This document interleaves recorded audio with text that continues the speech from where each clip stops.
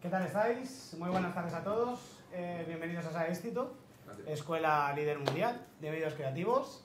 Mi nombre es Marco Octavio y soy coordinador de los cursos de música electrónica.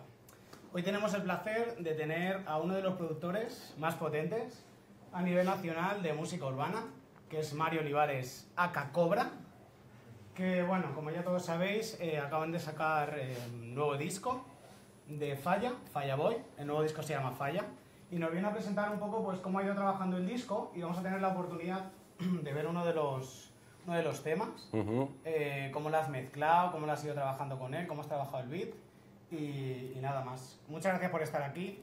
Vamos a darle un fuerte aplauso. Muchas gracias. Bueno, pues muchas gracias a todos. Gracias a Marco, tío, por la presentación. Y nada, hablaros un poquito del disco nuevo que hemos sacado hace, hace bien poquito, además. Eh, ¿Lo habéis escuchado alguno? ¿Habéis escuchado algo? Sí, sí, todo sí, qué bien, qué guay. En la edición digital, como veis, tenemos 12 temas. En la edición física hay 13. Hay uno que es exactamente igual que Volverte a ver, eh, pero Evil Version. O sea, la letra cambia, es la misma base, pero él se escribió con la misma métrica y las mismas melodías. Otro tema con otra letra que decía básicamente lo contrario. Este es de amor y el otro es de un poco de, de canalleo, por así decirlo. Entonces, eh, dentro de los 12 temas, normalmente de lo que venía a hablar un poco es de cómo enfocar los tracks para hacer un disco, cómo enviárselos a un artista y demás. Pero bueno, vamos a hablar primero un poco del disco. En los 12 temas hay de todo. Hay desde afro, afrobeat, afrotrap, podéis llamarlo ahora, eh, rap del más clásico, hip hop así un poco más comercial, dancehall y reggae, por supuesto. Eso sin duda.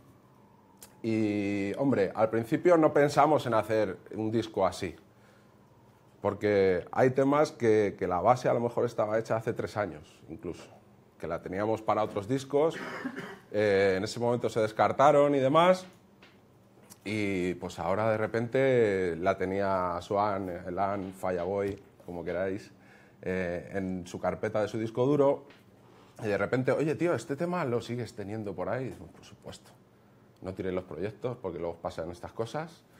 De, después de tres años, tienes aquella base que se llama, a saber, que lo hicimos en esa misma tarde, a lo mejor le pusimos cualquier tipo de nombre. Pues bueno, si tenéis una buena organización en vuestro disco duro, que es muy importante, chicos, encontráis y podéis sacar un tema después de tres años, ¿ok? Obviamente no era la misma base que hace tres años, volví a rehacerla entera y a enfocarla un poquillo más, pero básicamente sobre ella trabajó Elan en su letra, que es otra de las cosas que vamos a ver luego un poco más adelante. Cómo enviar, eh, si sois productores de hip hop, rap, eh, reggae, beats, cómo enviar los beats a los artistas para que les motiven y os lo compren y os contraten, ¿ok? Bien, como os decía, en el disco hay un poco de todo. De- empezamos con esta un poco así.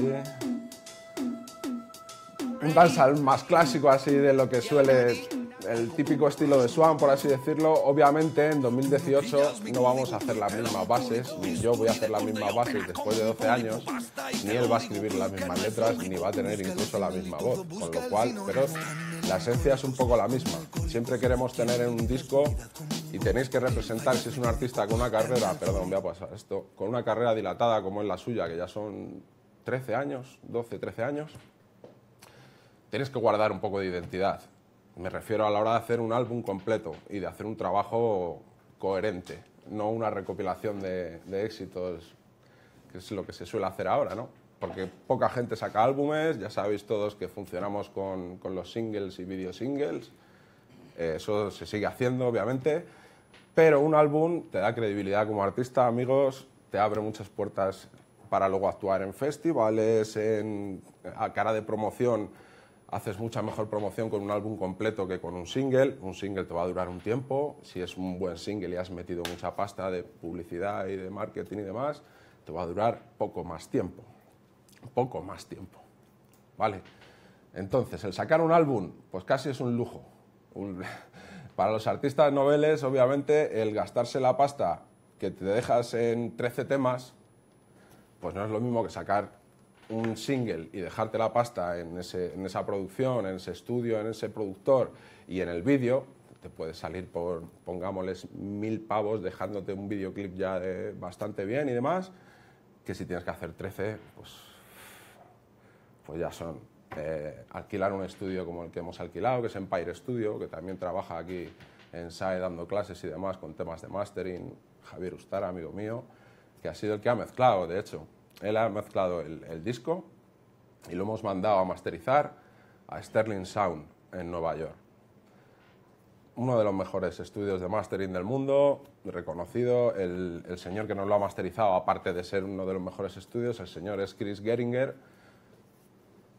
pues, eh, uno de los más máquinas del mundo. Ha masterizado a Rihanna, Butan Clan, eh, Drake. Podéis decir, artistas que está el tipo ahí metido. Con lo cual, ha sido una inversión fuerte en sonido, que eso la gente ahora tampoco, quizá a lo mejor le da más importancia incluso últimamente a, invertir en un videoclip, que no digo que esté mal, ¿vale? Pero obviamente un videoclip sin una buena canción y que suene bien, eh, ya, te, lo puede hacer Spielberg, que, no va a ser un, un, buen producto global, ¿ok?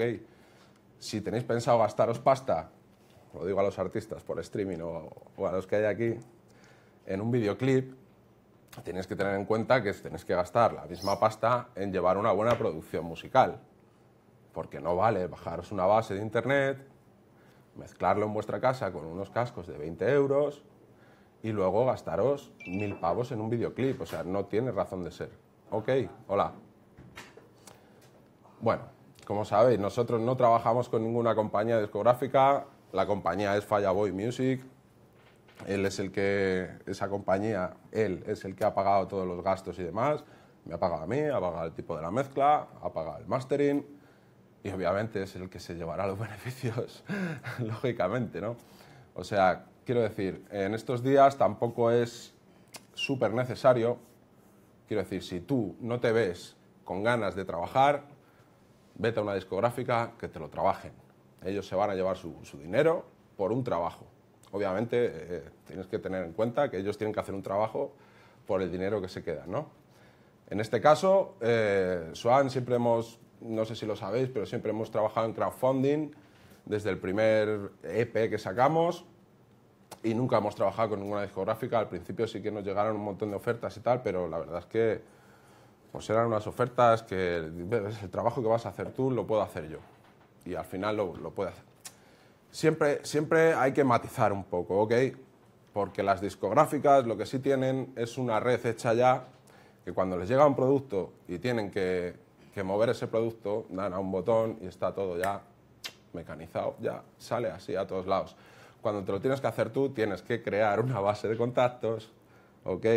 Muy importante y sobre todo, aparte, una fan base, que en eso eh, Swan se, se dejó muchos ojos ahí, muchos, muchas horas de vista en el ordenador. Él era informático antes y justo antes en todos los, me acuerdo que al principio de toda su carrera empezó a todos los, los grupos que había en, en MSN, estoy hablando ya de cosas antidiluvianas, sí.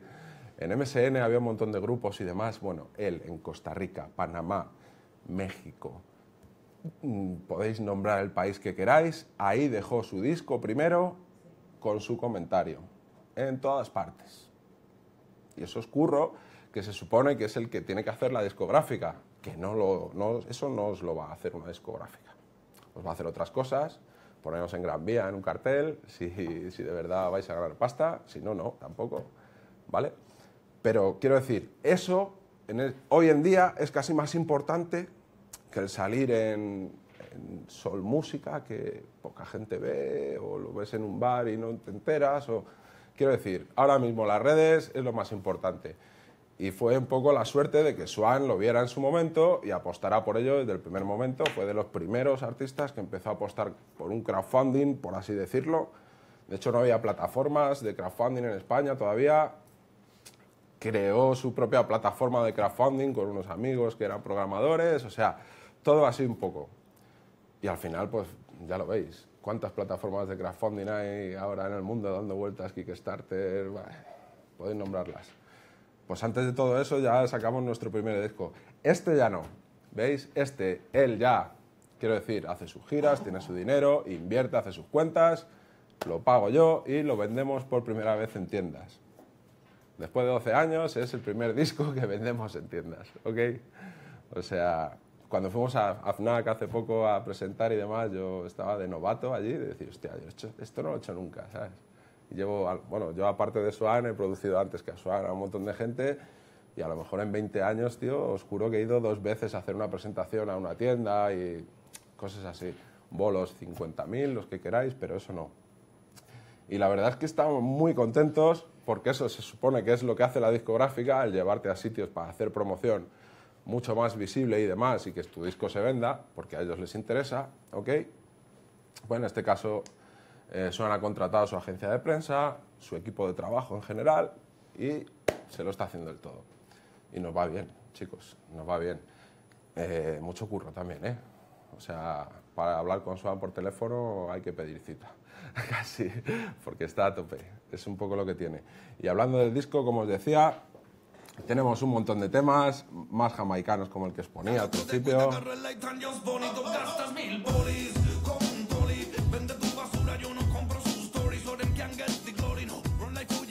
De los 12 que salen aquí, 9, instrumentales son mías. Esto no es porque yo sea el preferido de Swan, que puede ser que sí, y lo es, lo soy, de hecho, pero bueno. Es porque, ya os digo, hemos ido trabajando los temas a lo largo de casi tres años. O sea, había algunos que tenía un estribillo grabado de hace un montón, otro que tal, y de repente de, hostia, tío, tenemos cinco, cinco o seis temas. Eh, ¿Vamos a sacar uno? No, no, no, espérate, tío, ya que tienes cinco, vamos a hacer un, álbum ya, nos esperamos, lo trabajamos, venga, vale. Y seguimos recopilando hasta que hace poco, ya de, ah, no, pues vamos a, a licenciarlo en Canadá, en Estados Unidos y en México con National Records. Un saludo de aquí a Thomas Cookman de National Records. Eh, con lo cual, esto tenemos que tener el trabajo un mes antes, cada cosa que saquéis, para poder sincronizar. En la primera que sacamos hubo un pequeño fallo de sincronización, pero luego ya todo fluyó. ¿Esto qué, pasó? Pues que teníamos de repente de un día para otro un mes menos para hacer el disco. Estupendo. Y con fecha de entrega ya. O sea, decir, venga, a correr, a correr un poco. Corrimos, lo teníamos todo bastante bien atado y salió para adelante, pero esta vez que no hicimos crowdfunding que era lo que nos metía presión para terminar el disco con una fecha y poder mandar a tiempo sin que haya todos los problemas que conocéis de crowdfunding y demás. Eh, venga, vamos a hacerlo sin crowdfunding y lo hacemos tranquilamente. Bueno, pues nos llega la presión por otro lado y estamos igual. Pero al final casi es necesario. Aparte, los otros temas están hechos por eh, Acción Sánchez, lo conocéis, productor de SFDK y, de un montón de gente más. Es el DJ y productor de SFDK, hombre, eso sí que son Cambelé y, ¿Sabes qué pasa? Que yo tengo los títulos en la cabeza de la primera vez que le pusimos título y no tiene nada que ver luego, ¿sabes? Y es Cambelé y Cadenas de Oro. Que Cadenas de Oro, cuando, cuando me lo puso Elan, dije, ¿en serio, tío? Fue un poco... No, en serio, quiero decir, a mí me encantó la base. Yo flipé, pero como que de repente me chocó un poquillo y dije, hostia, tío, que me mola, dale caña empezó a escribir y, bueno, el Ana hasta que no lo tiene todo escrito no te lo canta, no te va cantando cachitos, no, mira esto, a qué te parece, no, no, mira, ya lo tengo, pum, se mete la cabina, te lo graba y te quedas así y dices, estupendo. Pues, claro, después de los temas que teníamos, teníamos casi todos los dancehall hechos y algún reggae y demás. Me mandó esto y dije, wow, la base es increíble, pero no sé cómo vas a entrar tú, no sé cómo vas a entrar tú aquí.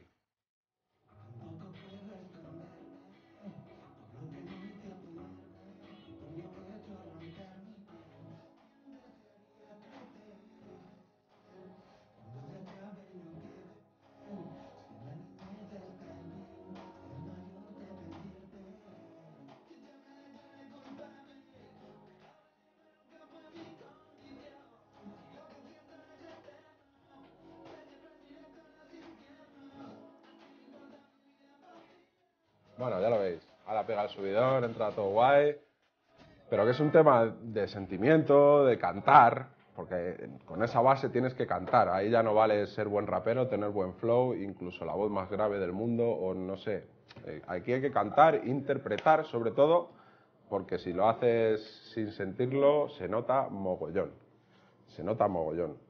Se nota que es falso y, aquí se nota que es de verdad. Y eso es lo que, lo que lo difícil que veía yo de decir, hostia, macho, qué registro más guapo, me encanta, vamos a hacerlo, pero yo, yo no se lo dije nunca, no se lo podéis decir a vuestros artistas nunca. Si que tenéis alguna duda al respecto, quiero decir, para adelante siempre, dale caña, esto va a ser la hostia, todo bien, siempre positivo, para adelante, venga. Pero yo si tenía mis dudas de decir, usted, ¿por dónde va a salir este hombre ahora? Teníamos, ya te digo, después de recopilar todo esto, dijimos, ¿qué nos falta en el disco? Pues justamente esto nos faltaba seguro, porque no, no lo teníamos ni en la cabeza de meter un tema así. Cuando lo mandó Oscar, eh, a, él, se le cayó la baba con los acordes y tal, que es lo que más le gusta siempre. Y a mí me encantó. Y luego, luego le metimos pianos, grabamos pianos de cola por encima, cuerdas, todo eso es grabado. Está sobre la secuencia de, de Oscar y demás, pero lo arreglamos un poquito ahí en el estudio con Javi. El otro, Cambelé, pues nos pasó tres cuartas de lo mismo. De repente, es una cosa que tampoco habíamos tocado así directamente.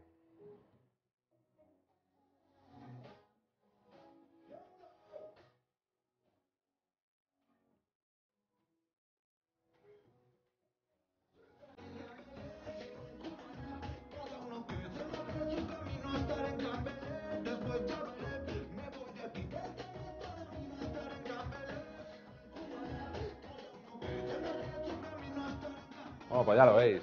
También, hombre, obviamente queríamos meter algo de esto. En todos los discos nos gusta salirnos un poquillo y tal. En el disco anterior teníamos algo más soca, en Mañana ya veré eh, y demás. Y siempre nos gusta pues tocar un poco, pero siempre eran palos bastante cercanos al reggae y al dancehall y al hip hop un poco. En este caso, Oscar, que todos le conocemos. Hola, pasad. Hola todos le conocemos por sus ritmos de boom bap ahí que han petado todos estos años en España y fuera de España, pues nos manda estas cosas y, joder, macho, después de cuatro arreglitos, temazo.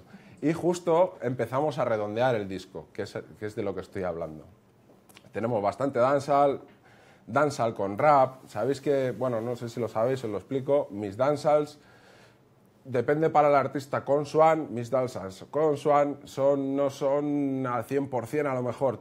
Cambio, meto partes de hip hop en los estribillos, eh, arreglos que no son muy propios del dancehall y demás, pero porque ya tenemos lo que decía, esa identidad un poco creada y tenemos que conservarla, aunque nos hagamos un trap, como es el caso también.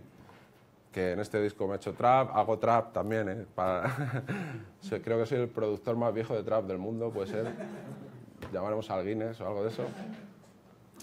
Y sí, o sea, en realidad, a nosotros nos gusta la música. Y hay cosas del trap que me molan, hay cosas que no, hay cosas del afro trap que me encantan, hay cosas que no, hay cosas del reggae que me molan y hay cosas que no. Y en el dancehall me pasa igual. Quiero decir, no es que porque me guste el rap del boom bap no me vaya a gustar lo que esté haciendo X porque suene a trap y tenga un bombo de 808 y un hat a, corcheas. Si, está bien hecho y está bien producido y, y, de verdad hay gusto, hay talento, da igual que sea trap, que sea metal, que sea lo que sea, chicos.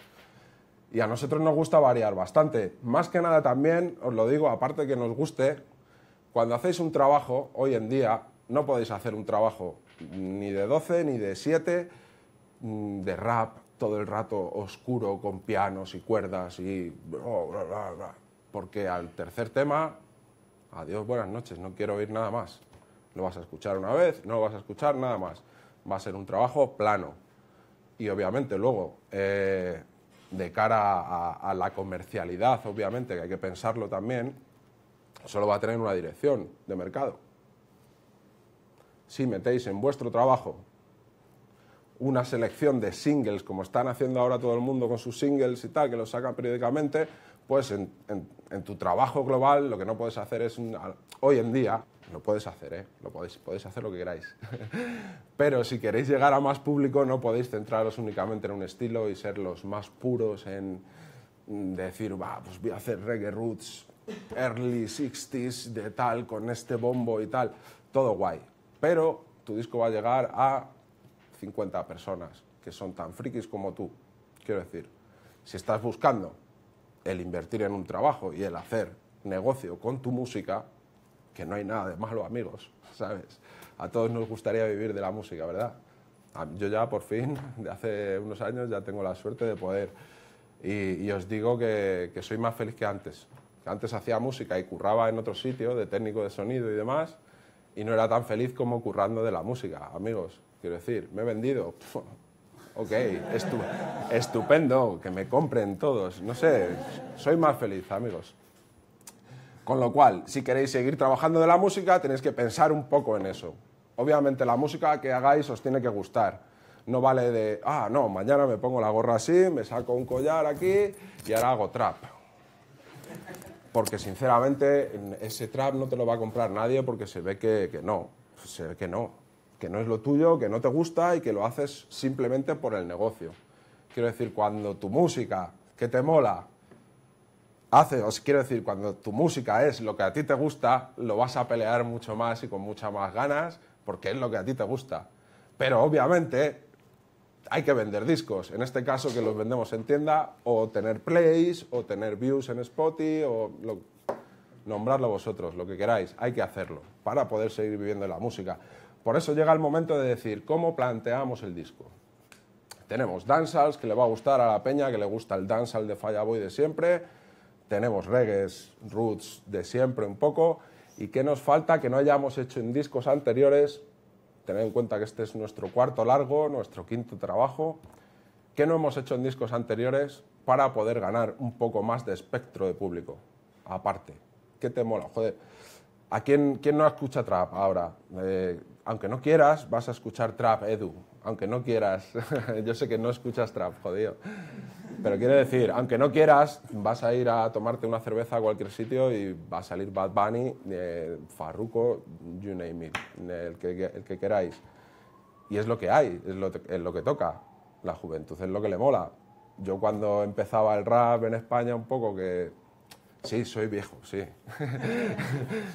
pues me acuerdo un poco y era casi lo mismo. O sea, tú veías en tu barrio, había otro que le gustaba el rap, que vivía a lo mejor a 40 calles y había cuatro en tu pueblo, ¿sabes? Y hasta que empezó a coger un poco. La verdad es que esta gente lo tiene mucho más claro y lo que quieren es triunfar y vivir de la música. Cosa que, lo que los que hacíamos rap en aquella época, hacíamos rap solo por hacer rap, todavía los hay y demás, respetabilísimo pero la gente de hoy en día lo que quiere es hacer negocio y ganar dinero con la música. Y les gusta la música. Eso no quiere decir que no les guste la música, ni que no tengan talento, ni nada de eso. Simplemente que lo tienen clarísimo. Quiero decir, hay mucha gente que al principio, no, no, yo esto es por amor, tal, no sé. Podéis nombrar un montón de cosas y de excusas que os van a decir. Pero al final, cuando vas creciendo, dices, coño, eh, ¿para qué voy a estar en una oficina y luego hago mi música porque me gusta, pudiendo hacer mi música y ser mi oficina? Que no hay, no hay más. Con lo cual, empezamos a rellenar con el afrotrap de, de este señor, el, otro tema de, de Acción Sánchez, otro tema de Positive Vibes, una gente que produce aquí en Madrid, sobre todo de reggae y dancehall también. Tiene un estudio que se llama Octopus Studio, ya un besazo desde aquí. Eh, que es el de Soy un niño. Otro temazo. Con guitarras de Javi Martin Boys, quiero recordar. Y me ya, ya me pilla los dedos, ya no me acuerdo de más. En este tema.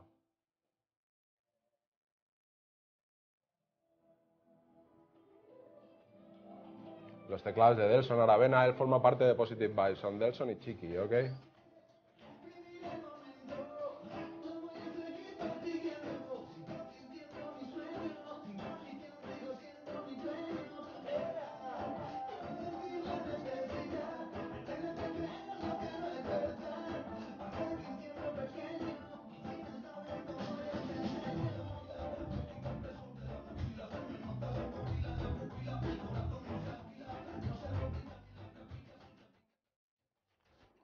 Pues otros roots para completar que nos faltaba también. Porque ya, claro, dijimos, nos vamos un poco al trap con Vatos, que fue el primer single que sacamos con vídeo.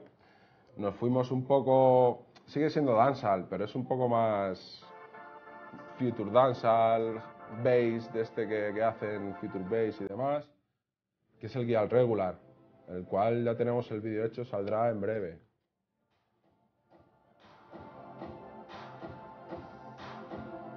Este os va a molar un poco más, por lo menos a los de mi curso, que son de electrónica y a tope.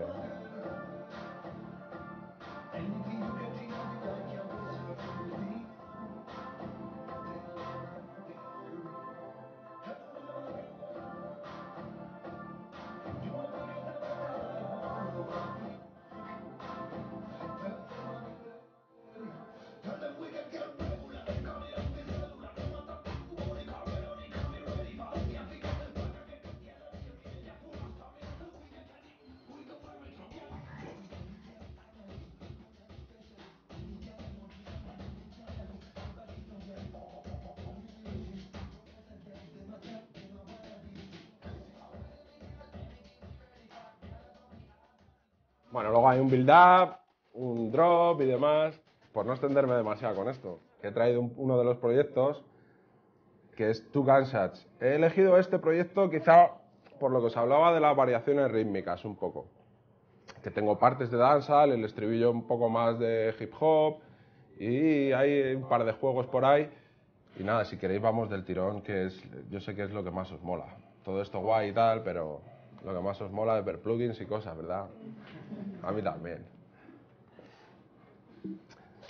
Lo que os decía de enviar los temas a los artistas, pues eh, normalmente los beatmakers, muchos sí, pero no están muy volcados en mezcla. ¿Ok? Es un poco error. ¿Vale? Cuanto más sepáis de mezcla, mejores beats vais a hacer. No es que estén mejor mezclados, que eso es obvio, sino que los beats van a ser mejores. ¿Por qué? Porque igual que cuando en una grabación al uso de cualquier disco de rock, pop o lo que sea, grabación de instrumentos acústicos o eléctricos, donde empieza la mezcla y el sonido de vuestro tema es en la grabación. O sea, si tú colocas un micro 15 centímetros, uy, 15, 15 milímetros, te digo de aquí, de así, ya el sonido no es exactamente igual. Bueno, pues cuando trabajamos con samplers y demás, no tenemos micrófonos, pero elegimos un bombo. Quiero decir, cuando tú sabes ya mezclar, obviamente tus selecciones de instrumentos van a estar basadas ya en algo con peso. Quiero decir, en la mezcla luego no te vas a tener que estar matando para arreglar ese bajo con ese bombo que no se llevan bien, que no termina, que se me hace bola, un montón de cosas que normalmente la mejor solución es cambiar el bombo o cambiar el bajo. Quiero decir, si empezáis eligiendo bien vuestros sonidos de vuestros sintes, no porque sea el mejor bombo, joder, qué pedazo de bombo, este bombo es la leche. Sí, pero si con vuestro bajo no se lleva bien, es el peor bombo del mundo. Quiero decir, no hay Oscar al mejor bombo del mundo, ni Grammy, perdón, en este caso.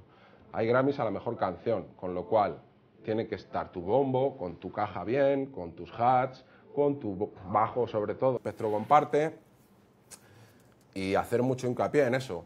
Quizás vais a tardar un pelín más, no sé, cada uno tiene su, flow a la hora de, producir y demás, pero yo hago hincapié sobre todo en, que sea una buena canción, no en que tenga el mejor sonido de sinte en tal parte o que las cuerdas que he metido en tal sitio sean, no, tiene que ser una buena canción. Que si dura tres minutos, esté los tres minutos escuchando la canción. Que no me aburra. Porque si no, o sea, con lo fácil que es hoy en día, antes teníamos que rebobinar las cintas con un boli, ahora le das a un botón y has pasado diez canciones. Quiero decir, ahora está todo tan inmediato que la gente, si tú no atrapas con tu base musical y con tu voz, obviamente, que no es solo la, la base, al, al oyente en ciertos puntos de la canción, si dura tres minutos, pues obviamente tu intro no puede durar dos minutos. He visto cosas así, porque al minuto la peña ya no quiere más intro. En minutos muy largos. Hay intros guays que si están bien desarrolladas te pueden durar, depende de los géneros también obviamente, hay géneros que hay intros de un minuto y medio. solo la intro con un sinte para poder pincharlo con el tema anterior, etcétera. O sea, hay un montón de cosas que se pueden hacer, pero en este caso de lo que se trata son bases, en realidad no demasiado complejas, no con muchos elementos, pero sí que eh, la complejidad está sobre todo en la estructura. Y la estructura es clave, es clave, chicos. O sea, de hecho, los temas de hoy en día, como podéis observar porque oís música como yo, tienen cuatro o cinco elementos. Los traps, cosas así, hombre, si escucháis eh, Dream Theater, pues, pues es otra cosa. Pero quiero decir, los temas que pegan, si queréis, si os mola el techno, si os mola lo que sea, si os mola el hardstyle, es lo que hay. Eso ya, ahí no. Eso es lo que hay, ya está. No, no os podéis salir de ningún lado. Normalmente son pocos elementos a todo volumen. Pocos elementos a todo volumen. En la música urbana, pop, mm, y generalizando, que no está bien, pero es así un poco porque lo que se trata es de destacar en las listas, ya hablo de pop también, de destacar en las listas de éxitos, tu tema tiene que sonar, todos sabemos lo de la guerra del mastering y de los dBs de volumen y demás, no sé si se solucionará todavía ahora con las medidas que está tomando Spotify, YouTube y demás, de aplastar sus temas, con lo cual ya no vais a sonar con un mejor mastering más altos, vais a sonar mejor, que es de lo que se trata un mastering, ¿ok? Yo es que soy un poco antiguo y a lo mejor el masterizar a menos 3 dB RMS se me hace cosa. Quiero decir, los temas con estilos actuales sí los puedes masterizar a menos 3 dB RMS, porque en realidad es un bombo, un bajo, un hat y una voz. Tienes un montón de headroom en tu mezcla como para poder apretar y ganar volumen. Si os empezáis a meter os comento un poco los errores más gordos que me encuentro en clase, cuando doy clase aquí en SAE y demás. Errores más gordos, más comunes, que me han pasado a mí igual. Tres paths, con el mismo timbre más o menos. No, pero es que este engorda por aquí y el otro. Eh, eh. La sensación que consigues con los tres pads la puedes conseguir con un pad. Y no tienes luego un lío de mezcla horrible. ¿Qué pasa con los pads? Yo voy hablando, pero ir pillando. Los pads tienen un espectro súper amplio, rellenan mogollón el espectro de frecuencias. Si pones tres pads, no te cabe más. Quiero decir, si quieres que se oigan los tres. Si haces un pad con tres capas, all right, lo que queráis, ¿vale? Pero que sea un instrumento, no que sean tres instrumentos y ahora se va uno y luego viene otro. Eso ya es más complicado, es más un poco para Enya y ese rollo más ambiental, ¿vale? ¿Ok? Sobre todo con los pads. Los hats, podéis hacer dos hats, un hat, un shaker, eh, algo así. Pero yo me he encontrado cosas muy locas ya de tres hats cerrados, dos abiertos, un crash y un ride. Y dices, ya no hay espacio para los agudos de nada más, ni de tus sintes, ni de tu voz, ni de nada más. Te has cargado todo tu espectro de agudos. Por eso, elegid bien los instrumentos. Id mezclando un poco según vais componiendo el tema esto puede sonar antítesis a lo que dice todo el mundo. No, primero se hace, luego se mezcla todo y luego ya. Bueno, quiero decir, si tú te haces tu base rítmica, si empiezas con la base rítmica y no la tienes bien, no digo mezclada, por lo menos de faders y, paneos. No te digo que pongas revers y compresiones y cosas. Faders y paneos. ¿Qué pasa? Que vas a seguir teniendo hueco para seguir añadiendo instrumentos. Dices, ahora me pide un bajo, pum, pum, pum, pum, pum, te lo llevas a su plano más o menos y sigues componiendo. Si no vas haciendo eso, llega un momento que es que ya cualquier sonido que vayas a meter en tu tema no te va a valer, porque tienes un montón de cosas sin organizar y ya dices, joder, es que me hace falta un lead, no sé qué, pero este no me gusta, este no me gusta, este no me gusta, os ha pasado, ¿no? Este no me gusta, este no me gusta, este no me gusta. ¿Qué pasa? Que no os va a gustar ninguno, porque ninguno cabe en vuestra canción ya. Organizar un poco antes de meter el siguiente instrumento, ¿ok? Cosas que parecen básicas, pero que dan la diferencia luego. Bien, vamos al lío. En este tema, lo más gordo en realidad, bueno, veis, tenemos pistas, son 37. Pueden parecer muchas, pero es que a mí me gusta a la hora de mezclar desgranarlo todo, por control. Desgranarlo me refiero a si tengo un shaker y un otro shaker, prefiero tenerlos separados por pistas que no en un estéreo. Hay veces que hago algún estéreo, pero cuando es muy evidente y me gusta tener control de cada pista, pues justamente por eso, para que no se me escape nada, que es lo suyo. Y en esta, de las 37 pistas, 20 pistas son de voces, incluyendo los grupos, ¿vale? Y demás. ¿Qué pasa? Que en este tema, Fireboy tiene 3, 4 registros distintos de voz. O sea, todo guay, qué fácil es grabar a los raperos, ¿ok? Sí, a los raperos a lo mejor sí, una vez que lo has pillado y tal, su compresión y tal, todo guay. Pero este señor de repente te canta súper agudo, te tiene una estrofa súper grave, otra por en medio con mucho aire, otra súper... Mm, eh, y claro, pues tienes que montar este pollo. Decir que el tema yo no lo he mezclado, he hecho una recreación en Logic con, con plugins de Logic y bueno, y algunos de Slate Digital que me molan también. No los puedo, no lo puedo evitar. Ya no puedo, ya una vez que pruebas el jamón ibérico ya es difícil. El paso atrás es dificilísimo. Bien. Consta de, mira, mi grupo de baterías, que en la intro no entra, vamos a quitar el loop.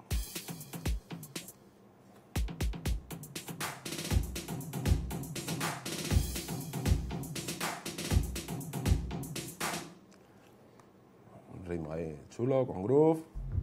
Nuestro bajo. A mí me gustan los bajos, se nota, ¿no? A mí me gustan. Ay. Voy a mutear todos los grupos de voces, como veis. Ahora os explico las voces, un poco después.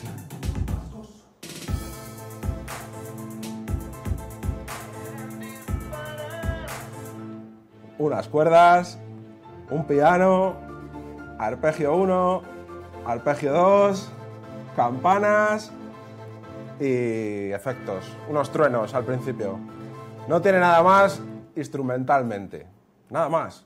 ¿Qué pasa? Con eso, como vais a ver, hay un montón de juego de secuencia, que es en lo que yo pongo súper hincapié, en la estructura de vuestro tema.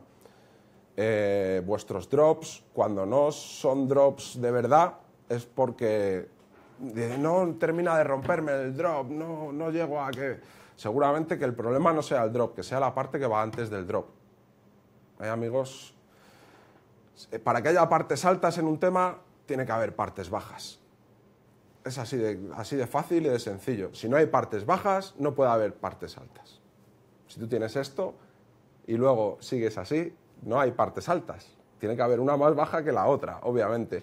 Y cuanto más enfaticéis con esa secuencia y esa estructura, esos o sea, esa sensación de vacío antes del drop, obviamente la parte alta va a dar sensación de más alta que no hay más. Vamos a chequear un poco lo que es bajo e instrumental, la estructura y luego vamos con las voces, que es donde hay jaleo.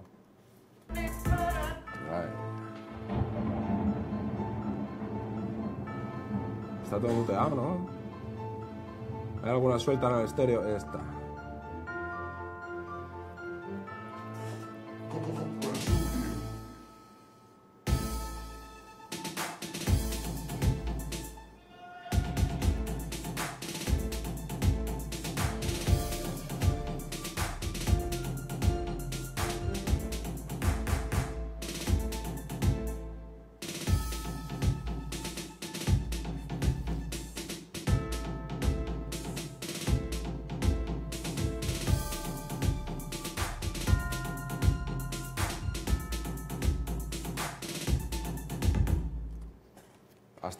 Eso sería un poco la primera estrofa.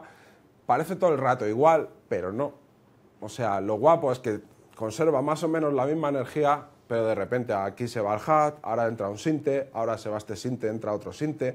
Todo eso está pasando por ahí detrás. Ahora en esta parte quito esto, me paro. Luego con las voces, es muy importante el que la secuencia vuestra incluya algún jueguecito con la voz para que se vea que no parezca que se ha grabado el tema y chao, y no lo has vuelto a ver, quiero decir. Que, la voz forma parte de la canción también y de vuestra base y de la producción en total. Con lo cual, el hacer silencios para enfatizar frases del cantante, todas esas cosas de secuencia van a aportar mogollón. Bien, ahora después de todo esto que os he dicho, os lo pongo otra vez y vais a notar un poco todas esas cosas que se van y vienen. No pueden ser muy evidentes porque si no, obviamente, el oyente se queda loco. también está todo el rato, hostia, ¿qué pasa? ¿Qué pasa? ¿Qué pasa? Todo el rato. No puede ser tampoco. Hay que sorprenderle de vez en cuando. Cada cuatro compases, ocho, es cuando meto yo alguna pequeña variación en el ritmo. Ya veréis.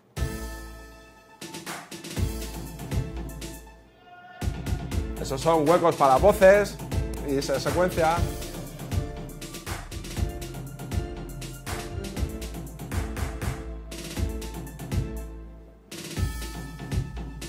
Se van los pianos, entra un arpegio. Ahí entra el piano, se va al arpegio. Es que parece que no, pero ahora se va, entra la campana y el otro tal. O sea, son cuatro cosas, pero están todo el rato así, chicos. Todo el rato. Ahora dentro el otro. Es parecido a lo que hacen con el dubstep. En el dubstep parece que hay un montón de cosas y tal, que las hay, pero todas a su tiempo. Quiero decir, no hay un montón de cosas todas juntas. Veis que tengo pocos instrumentos y aún así, menos en el coro, en el estribillo, no los pongo todos juntos. justamente por eso, porque eh, el oyente de repente dice, joder, ahora me entra un sinte aquí, ahora me sale aquí un piano. La base rítmica más o menos, la estoy dando cambios, cortes, acelerones, parones, no sé qué, pero en realidad parece todo lo mismo, pero estás todo el rato, te están entrando cosas en la cabeza, distintas. Si tú dejas tu estrofa todo el rato exactamente igual, incluso el cantante, a la hora de escribir, hostia, no me sale nada que es lo que dicen todos un poco, no, o nada, este ritmo no, eh, a lo mejor es la leche, pero si está muy lineal y con poca estructura, chungo.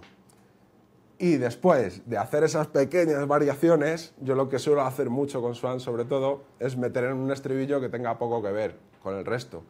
Justamente por eso. Véase en el drop, en la electrónica, lo que queráis, pero tenemos que tener una estructura donde haya cambios sutiles, pero cambios para eso, tener entretenido a la peña. Aquí entra el coro, creo.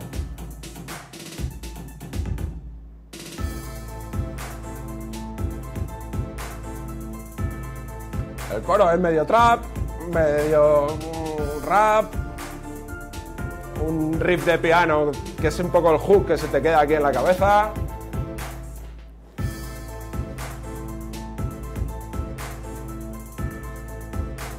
Obviamente de esto tiene mucha culpa Swan. Quiero decir, tampoco es que se me ocurra a mí, en este caso no.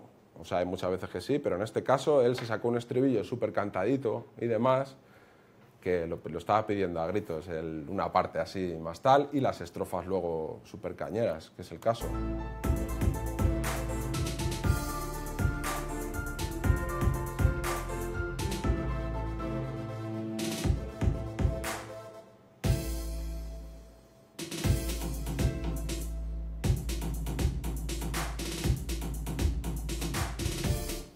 Otra vez.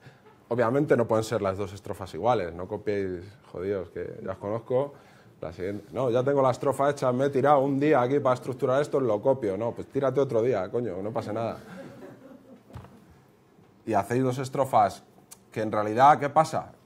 El oyente no sabe de música, ni de Logic, ni de plugins, ni de nada. Simplemente se aburre.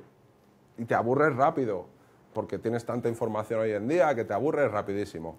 Entonces, si tú contribuyes a ese aburrimiento, pues mal, mal. En la segunda estrofa tenemos la misma sensación que en la primera, la misma sensación, muy importante, porque tampoco es lo que os decía antes, no podéis variar a lo loco, porque tampoco es distraerle. Hay un cantante que es, el que lleva el peso de la canción, ¿ok?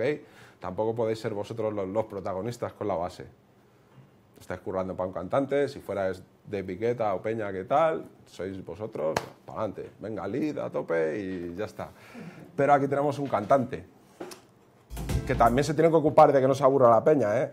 Y eso es trabajo vuestro, si hacéis beats y demás, el producir las voces también. Quiero decir, si el tipo sabe, no digáis ni pío, dejarle currar, pero si veis que hay algo falla, no tengáis ningún inconveniente de decirle al tipo que está grabando, da igual quién sea, os lo digo de verdad que lo agradecen, amigos. Cuando tú estás en una cabina y estás haciendo algo que tú no te das cuenta, cantando me refiero, tú no te das cuenta de que está mal o de que puede estar mejor y alguien te dice, oye tío, si pruebas esto yo creo que va a estar mejor. Lo agradeces en el alma.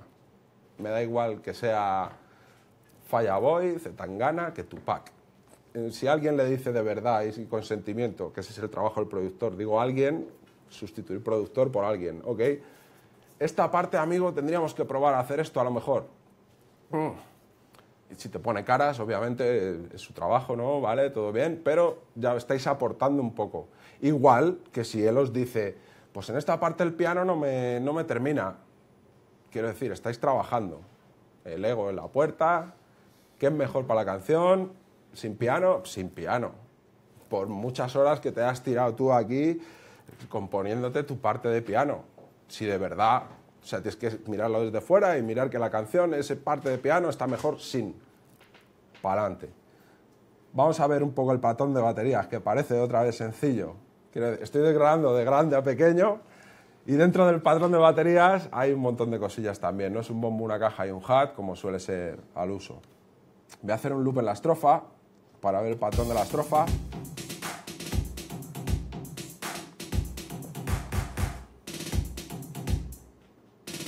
Ve bien? Ah, claro, estoy aquí en medio, tío. Bien, bombo, caja, clap, perk, que este mola un montón. Hats, hats y crash. Como veis, no hemos vuelto loco. Pero tenemos groove, está relleno. Quiero decir, no hay que meter cuatro hats haciendo cada uno un tiempo distinto, uno con un pitch un poco más, otro con un pitch un poco menos, para crear esa sensación de groove. Más que nada os vais a complicar la vida, mogollón que no, no, es lo suyo porque luego, como vais a ver después, en la mezcla estáis jodidos, estáis jodidos. No, es que en esta parte me pide un poco más, voy a meter otro sinte, otro... afloja la anterior a lo mejor y ya verás. Pues aquí igual. Voy a mutear para poder solear. Esto está todo mute, perfecto.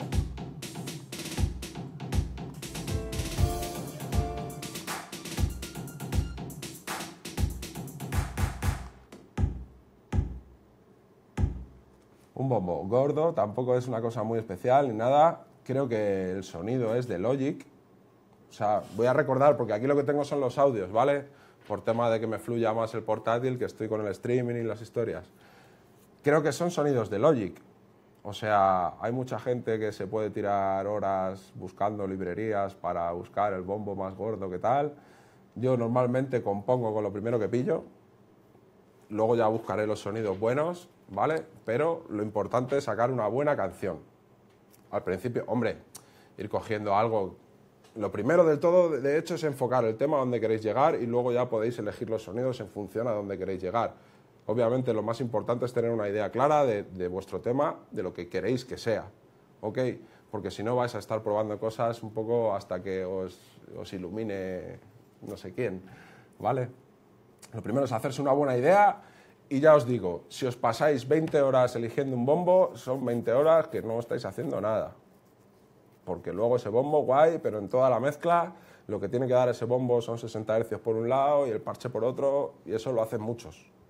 Quiero decir, ese bombo, no, a no ser que sea una canción que solo sea el bombo, pues sí, ahí pasaros ya unas pocas horas. Es un bombo de Logic en el cual, vamos a ver un, un poquito el proceso. Normalmente a mí todo lo, siempre me preguntan qué hago con el bombo y el bajo. ¿Cómo soluciono el problema? Es un poco de los problemas más comunes que tenéis todos. Bien, en mi bombo. Yo uso plugins de Slate, me molan mogollón, me los enseñó Soma una vez que vino a mi estudio. Soma, productor de Porta y demás, maquinón. Y desde entonces suscrito a su tal y todo guay. Tengo una emulación de mesa de mezclas, esto es una emulación de canal, de entrada, ¿ok? Yo de hecho la tengo en la emulación de la Solid State Logic, como la que tenéis aquí. Bueno, no es el mismo modelo, pero eh, es una Solid State Logic. Y lo que emula es la entrada, le da un poco de drive. Yo manejo mucho la distorsión. Distorsión, véase, no como un pedal de fuzz o overdrive, distorsión armónica, ¿ok? Al trabajar en digital necesitamos cosas orgánicas, si no se nos va a quedar todo un poco frío. Y ahora ya los plugins sí que dan unas distorsiones bastante creíbles. Hace unos años el tema analógico era casi imprescindible para dar esa, esa calidez y demás analógica. Ahora funciona muy guay. Y conozco un montón de peña que mezcla solamente in the box, o sea, en software y peña famosa, muy famosa. Okay mis ídolos de mezcla, hay muchos que mezclan in the box, como yo ahora. Sobre todo por temas de recall, ¿vale? Obviamente, si os digo una cosa, los cacharros de verdad suenan mejor, por lo general. Es que eso no hay discusión. Pero el, el resultado final, el resultado final, nadie te va a decir si has usado un LA2 de verdad Electronics del año 62 o el plugin de Universal Audio. Nadie te lo va a decir. Te pueden decir, oye, ese compresor es el, el LA2, ¿verdad? Por el tono que le da y esa distorsión y tal que le da la voz. Pero ahora, eh, dentro del contexto de una canción, si tú pones el cacharro de verdad y el plugin en solo, la misma pista de voz, ahí dices, coño, ay, así sí.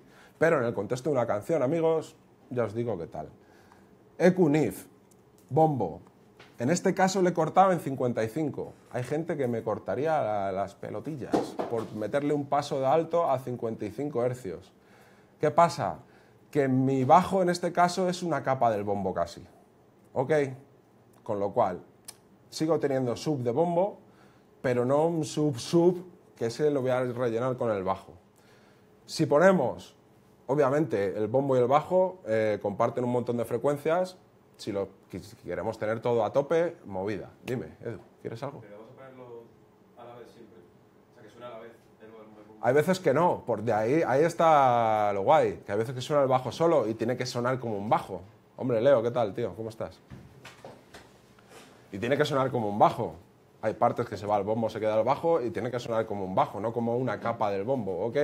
Pero a la hora de mezclar tienes que tener en cuenta, obviamente, esto. Paso alto a 55 hercios. Está apagado, ¿vale? Luego le he dado en 65, que es donde suele tener el componente de graves los bombos, depende del bombo obviamente, desde 50 los hay también hasta 80, pero normalmente 60, 70, ahí tenemos el subgrave del bombo donde va, donde va a funcionar bien.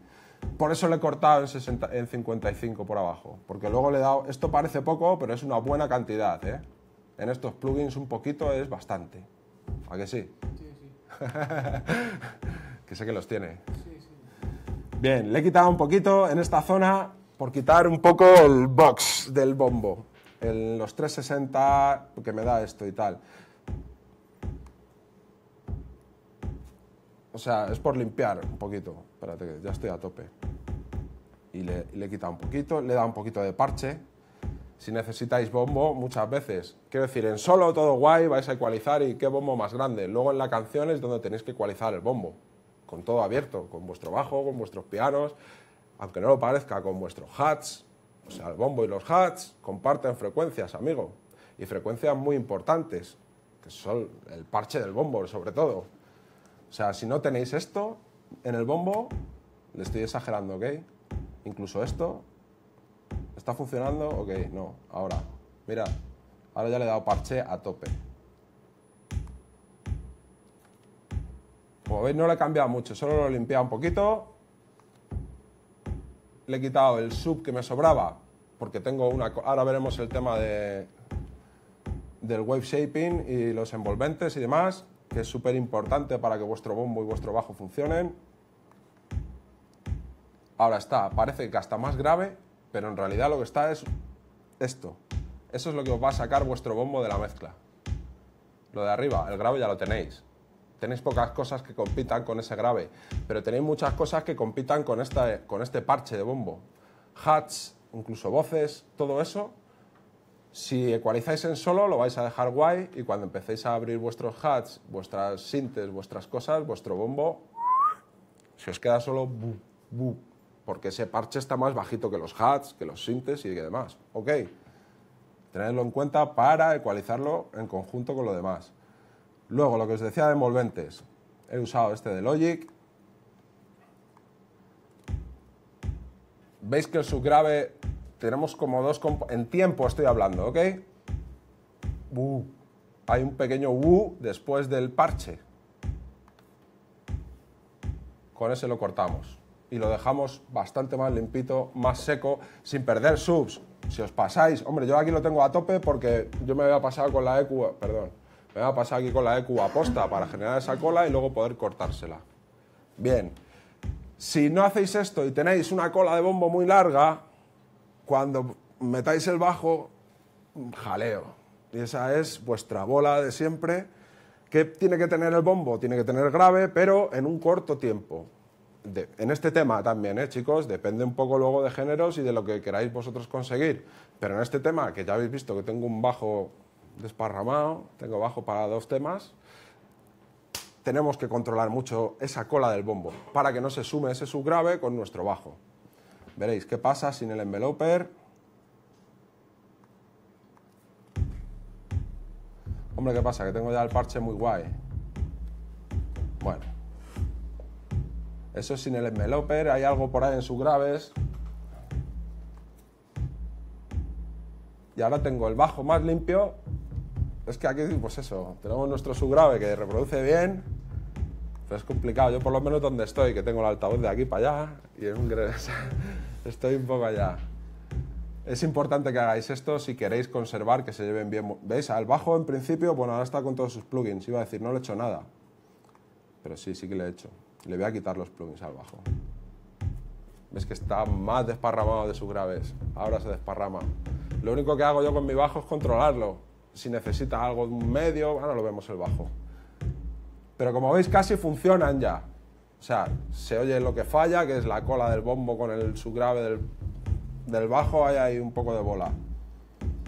Bien, voy a poner la EQ y todas estas cosas. Como veis le he puesto hasta envolvente también.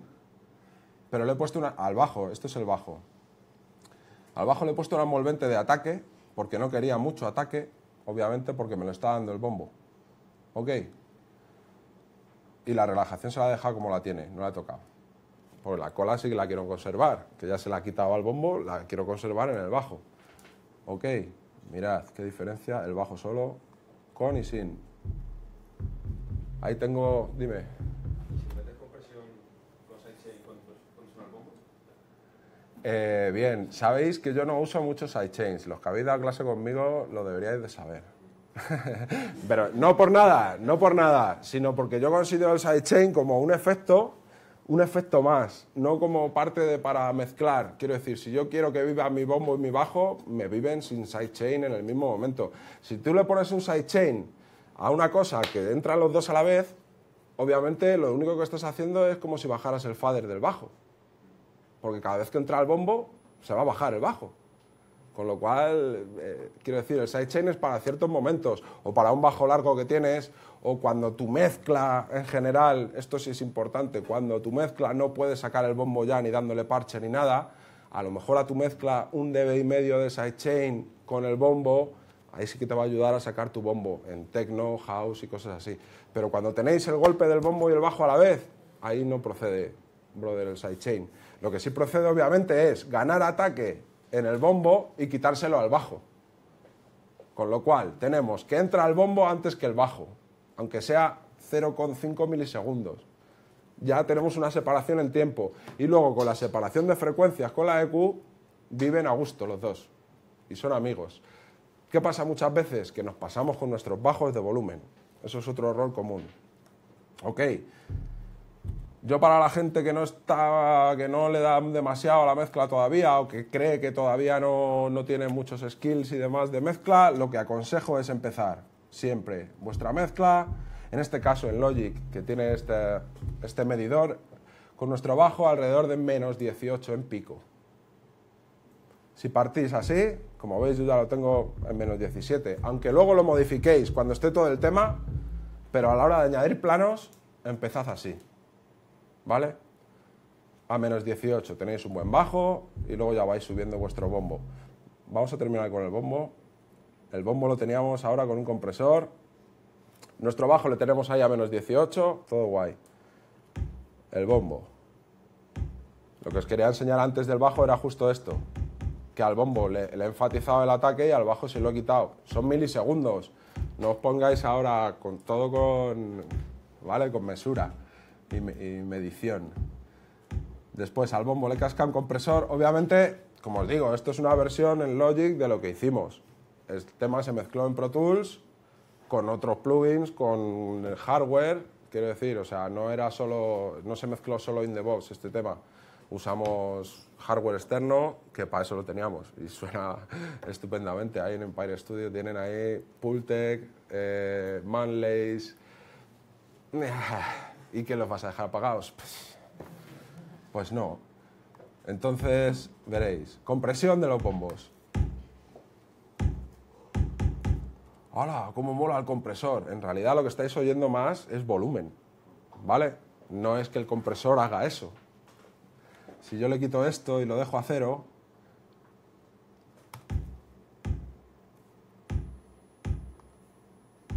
varía un poquito, tiene, sea, se nota, en realidad lo que hace el compresor es eso, ¿vale? Y yo lo que quiero es ganar un poquito de punch. Sobre todo mis bombos y mis percusiones, bombos cajas, lo que necesito es punch. Más que que sea enorme o que tenga una cola al bombo, a no ser que lo haga hairstyle, ¿ok? Bom, bom, eso ya va todo junto ahí a tope. Todos mis respetos, ¿eh? que tengo muchos amigos y sé que es un chiste que es para. ¿eh? Bien. Poca compresión, 4 a 1. En este caso, chicos, tampoco lo hagáis a todos los bombos, esto lo digo siempre. Esto no son normas de decir, hostia, pues a los bombos ahora voy a hacer esto. Depende mucho del bombo. Nosotros trabajamos mucho con samples de librerías, que normalmente nos los cargamos, porque los samples vienen ya seguramente que mejor de lo que nosotros podamos conseguir. Depende de cada uno, obviamente, ¿no? Pero los samples vienen ya muy bien, si cogéis buenas librerías, obviamente. Si los sampleáis de un vinilo, ahí tenéis que currar. Los samples de librerías, tocad lo que haga falta, chicos, para integrarlos en vuestro tema. Pero si comprimís, ecualizáis y ponéis reverb por defecto, puede que os lo estéis cargando. Si no le hace falta, no le hace falta. ¿Ok? Y ya veis vosotros mis ecus y mis compresiones, suavísimo todo. Son pequeñas sumas de, pequeños, de pequeñas cosas. Luego, obviamente, después de comprimir toda compresión, compresión es bajar volumen. Siempre. O sea, por definición. Estamos bajando para enfatizar el ataque. Bien. Como veis, hemos ganado un poco sin dar make-up. Ah, perdón, perdón, hemos ganado porque le he dado la ganancia, obviamente, para la demostración. Pero si se nota el ataque, tiene mucho más punch. Y ahora vamos a darle un poquito de make-up, porque si le estamos reduciendo aquí 3 dB, lo suyo es que nos salga mínimo igual que ha entrado. Me refiero en volumen. Le recuperamos aquí en make-up 3 dB. Yo suelo recuperarle más directamente y ya lo uso como etapa de ganancia, el compresor. Ole, me pasé. ¿Sabéis por qué me he pasado? Porque veo que mi fader no está a cero. Quiero decir, yo cuando comprimo suelo tener mi fader a cero y demás. Veo que mi fader no está a cero porque ya, ya lo había retocado en la mezcla. ¿ok? Entonces me he pasado. ¿Hay alguna diferencia de hacerlo con el make-up que con la salida de la ganancia? Sí, sí, la salida. Bueno, sí, a lo mejor en digital no hay tanta diferencia. Ok, en el cacharro de verdad sí. ¿Sabes? De hecho, si lo que tú quieres es corregir eh, lo que tú has comprimido, dale con el make-up. Si lo que quieres usar es como etapa de ganancia y le voy a ganar 3 dB aquí porque sí, pues puedes usar esto. A mí me mola un poco más esto porque en principio debería darle ese color que tiene característico el plugin, debería darle. Y este debería ser como más digital. ¿ok? Eso se llama make-up y no volumen, ¿no? Eh, sí, supongo que sí. También es que los 60 eran muy locos y ponían los nombres como querían, Porque de hecho, en el compresor original, el ataque y la relajación más al contrario. ¿Vale? Es un, es un puto lío. Quiero decir, cuando le estás dando 7, que te crees que es más lento, es más rápido. Y al revés. O sea, es un poco lío. Tienes que pensar antes de... o leer. Aquí, de hecho, pone milisegundos. En el cacharro de verdad no pone nada. Pone de 1 a 7 con lo cual no sabes si son 7 donus o 7 milisegundos o 7 dBs o qué 7 son. Simplemente es, coño, aquí va más rápido, vale, esto es más rápido, ya está. La aguja os va a cantar mucho, ¿vale? Sobre todo con la relajación y demás, vais a ver la aguja moverse y vais a decir, coño, esto es más rápido y esto es más lento. Bien, bombo, estupendo. Voy a ponerlo a cero. Como veis, lo saco casi picando. Me guardo ahí un par de dBs, lo saco casi picando y luego como todavía quiero, parece que está gordo, pero no, lo quiero más gordo. Lo difícil muchas veces es saber eh, si puedes sacarle todavía un poquito más de jugo a cada sonido. Porque hay veces que dices, así ya me gusta, pero si no te pasas de proceso, de, no de proceso de meter plugins y tal, sino como vais a ver ahora, por ejemplo, con mi limitador, no sabes hasta dónde puedes llegar con ese sonido. Lo suyo es pasarse y recuperar. ¿Ok? Pues si vas desde abajo, todo guay, dices, aquí me mola. Sí, pero no sabes si aquí también o te mola más. Lo suyo es, aquí ya no me mola. Me vuelvo para atrás. ¿Ok? Me refiero, thresholds, ataques, eh, lo que veáis, cualquier knob que veáis, hacer eso. Pasaos hasta que digas, hostias, aquí no, y recuperad. Hombre, si sabéis hacerlo, ir del tiro, no perdáis el tiempo. ¿Vale? Yo suelo usar un limitador en los bombos en las cajas porque me da un extra punch a tope. Y encima eh, conservo un montón de headroom. Porque como veis, yo le pongo mi ceiling, mi techo, no va a pasar nunca de, 3, de menos 3 dB. ¿Ok? Y ya, bueno, ahora vais a ver que, que, limito muy poco. O sea, no os paséis con el limitador porque os cargáis, os cargáis las cosas directamente. Pero ya vais a ver. Ahora estamos saliendo aquí, en nuestro fader. Perdón, lo voy a poner a cero para ver bien las medidas y que entendáis esto que os va a servir mucho. Ahora estamos aquí a menos 2, ponle menos 2. Y suena así de alto. Con nuestro limitador vamos a estar a menos 3 y suena igual de alto o más. Lo graves un poquito más. De hecho, a ver, le voy a limitar un pelín más. Como veis aquí en el plugin, estoy limitando 3 dB. Eh, nada, poca leche. Pero sí le da, ¿eh? Y aparte, sabemos que de menos 3 no nos va a pasar nuestro bombo. Lo tenemos controladito lo tenemos gordo. Hemos ganado sobre todo, amigos, RMS. RMS. Bien, RMS es la medición de la energía que tú percibes, por así decirlo.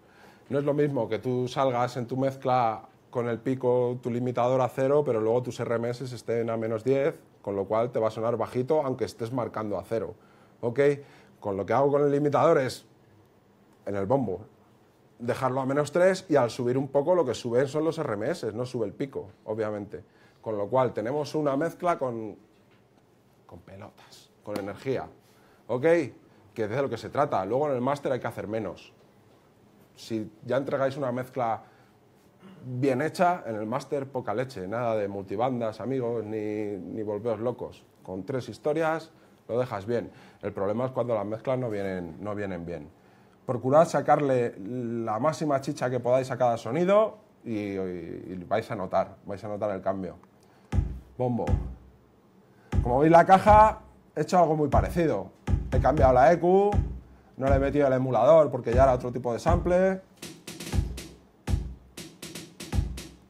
Como veis, no es una caja al uso también, va con el bombo, va sin el bombo, tiene que funcionar los dos lo que os he dicho antes, hay que elegir una que no tenga a lo mejor el gordo de la caja en el mismo gordo del bombo para que se lleven bien, que no tengas luego que, que matarla de ecus y demás. Importante también para saber si se llevan bien o mal, es una vez que los tienes los dos, los dos juntos, miras tu estéreo, a ver qué tal suman. Quiero decir, en solo el bombo menos 5. Con la caja, ay, perdón, con la caja menos 5, ¿vale? Sin la caja, menos 5,6, con lo cual la suma apenas se nota. En cuestión de frecuencias, quiero decir, no estamos sumándole frecuencias al bombo con la caja ni nada de eso, por eso se lleva bien. En el momento que tú pones una caja o un bombo y un bajo y te suman 6 dB los dos juntos, es que hay frecuencias compartidas que se están sumando y que no deberían, porque te van a crear bolas y no vas a distinguir los instrumentos uno del otro, que es lo suyo, ¿ok? Esa es una de las maneras que yo uso. Yo suelo usar un analizador de espectro que viene con la, con la tarjeta RME que tengo. Lo tengo ahí, analiza lo que sale por los altavoces. Nada de Logic, todo lo que sale de, hasta por YouTube, por Spotify. Me pongo Spotify y tengo aquí mi analizador. Eso es la leche si no tenéis un cuarto apropiadamente bien eh, hecho y demás, con las reflexiones matadas y eso, ¿vale? El contar sobre todo con un analizador mola, yo ya me he acostumbrado, obviamente la oreja es lo que más mola, pero para eso necesitáis un espacio que funcione. Si tenéis reflexiones o oís mucho grave o ahí es más complicado. Y el analizador os puede ayudar. Ya, ya os digo, escucho Spotify con el analizador de espectro puesto. Y de repente, hostia, qué bajazo han sacado estos. Ven, qué cabrones, en 40 le han dado, tío. Oh, yeah. Aprendiendo todo el rato. ¿Sabes? Venga, vamos para adelante que me lío. Bombo y caja suman bien. Debería haber una palmas. No en esta parte. Ahora. Tenemos un tom, que parece un tom, pero bueno, es un sample de algo raro, no sé de dónde lo saqué, sinceramente, de alguna librería loca que tengo por ahí. O incluso del Logic, ahora me suena. Y como veis, lo que me está haciendo es darme groove. Está en las partes entre medias de los bombos y las cajas para ir rellenando huecos.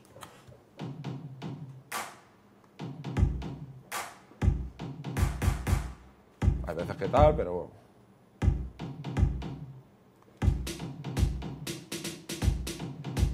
En los huequillos. ¿Eso qué hace? Que parezca que hay más cosas, pero no se están pegando. Tenemos hueco para la mezcla, tenemos hueco para el groove y nos funciona. Buscar siempre eso, también con instrumentos que tengan otro tipo de timbre que vuestro bombo y vuestra caja. Normalmente vuestro bombo lo vais a identificar en graves, la caja un poco más de agudos, buscar algo como esto en medios que os meta por ahí un poquito de groove. El hat obviamente tiene que también contribuir al groove.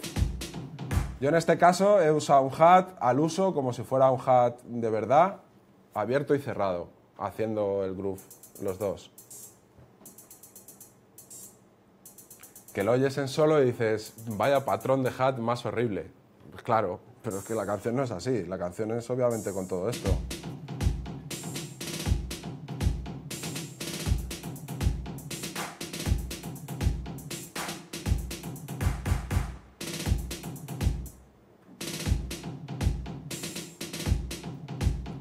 Todo funciona, todo se lleva bien, todo está relleno, no, no, hay, no hay peleas ni nada.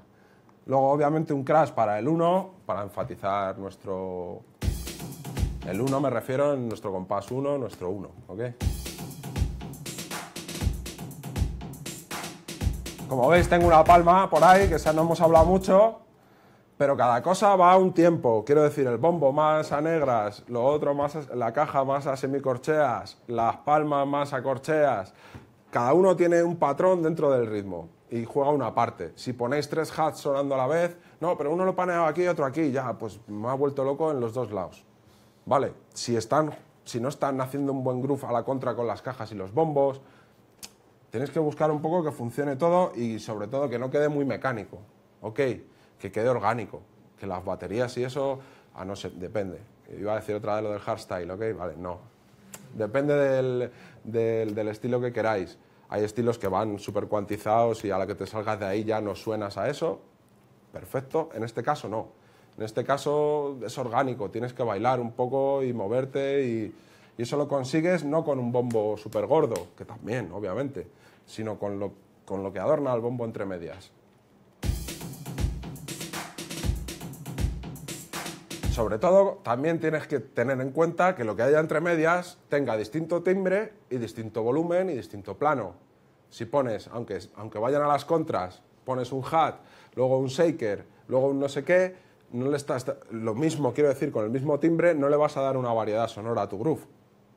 Va a dar igual que pongas un hat que otro. Si, en realidad, lo que mola es oír distintos timbres en distintos tiempos, como, como el tom entre medias.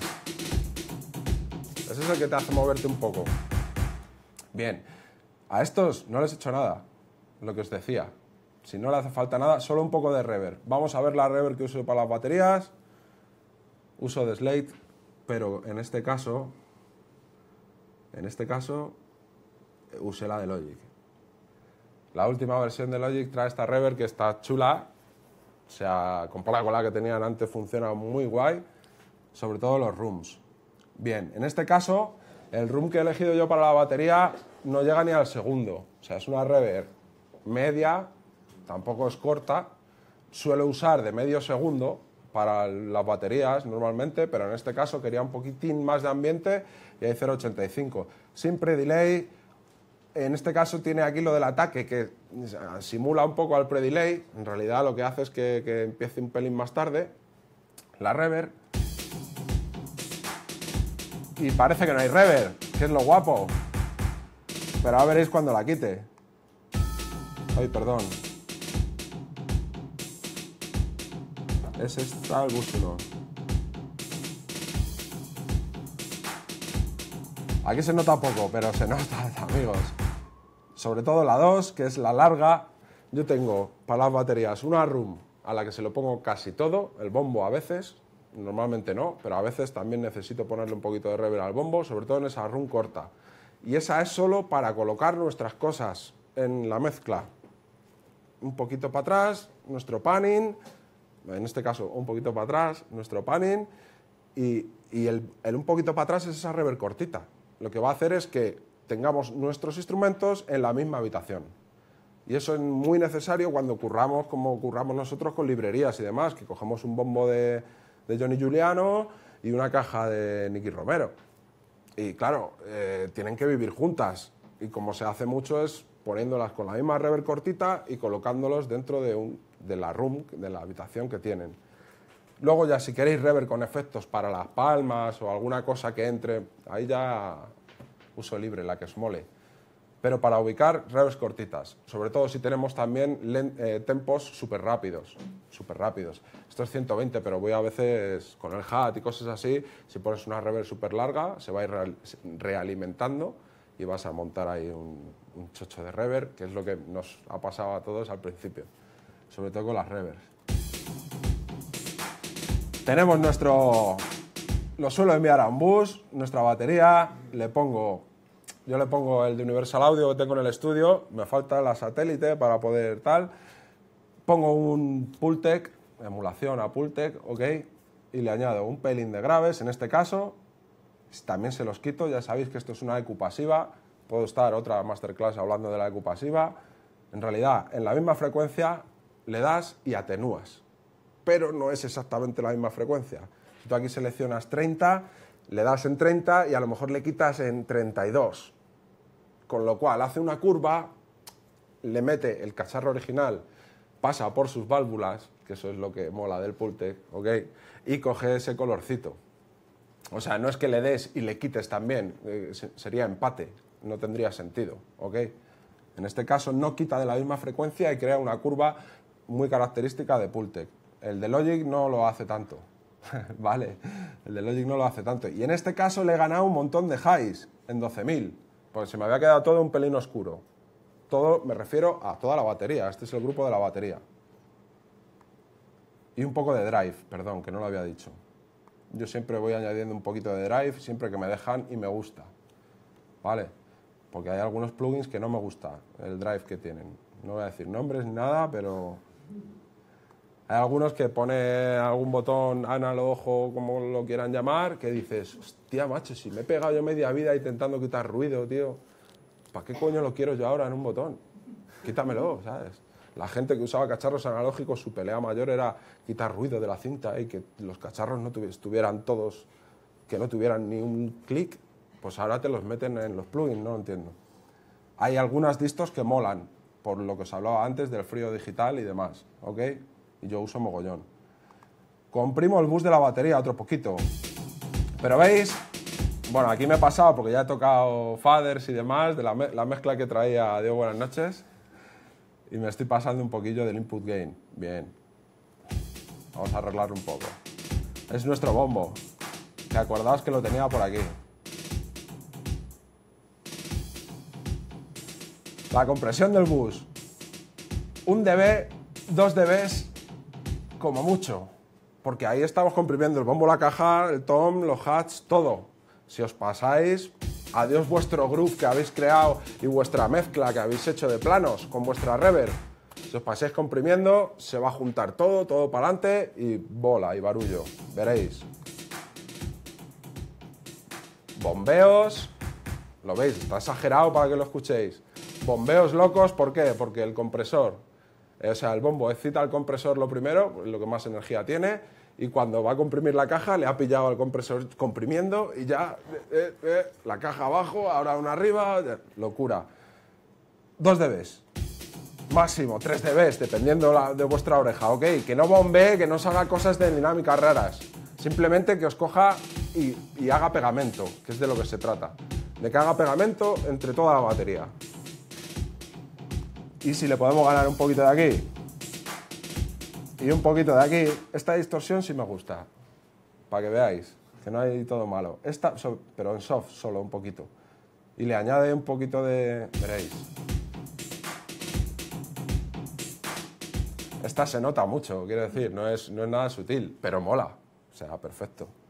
Lo único que no tengo control sobre ella, es la única pega que podría poner, de decir, quiero más drive o no quiero drive en los graves, apuntaos esta, solo quiero drive de 200 para arriba, cosas así, que estarían guays.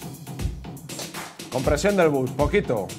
Como veis, en este caso yo le he dado el ataque lentito para que no me mate ninguna caja ni ningún bombo y la relajación rápida también. Pero al, ser un DB2 tampoco... En dinámica lo que estamos sacando ahora es un poquito más de pegamento y de punch. Un poquito más que se podía. También le he puesto un limitador extra al grupo entero de la batería, ¿vale? Por lo que hablamos, otro pelín de punch y sobre todo control. Mantengo mi headroom del grupo de la batería a menos 3 y con el limitador le añado ese poquito de RMS más y de energía. ¿Veis qué diferencia?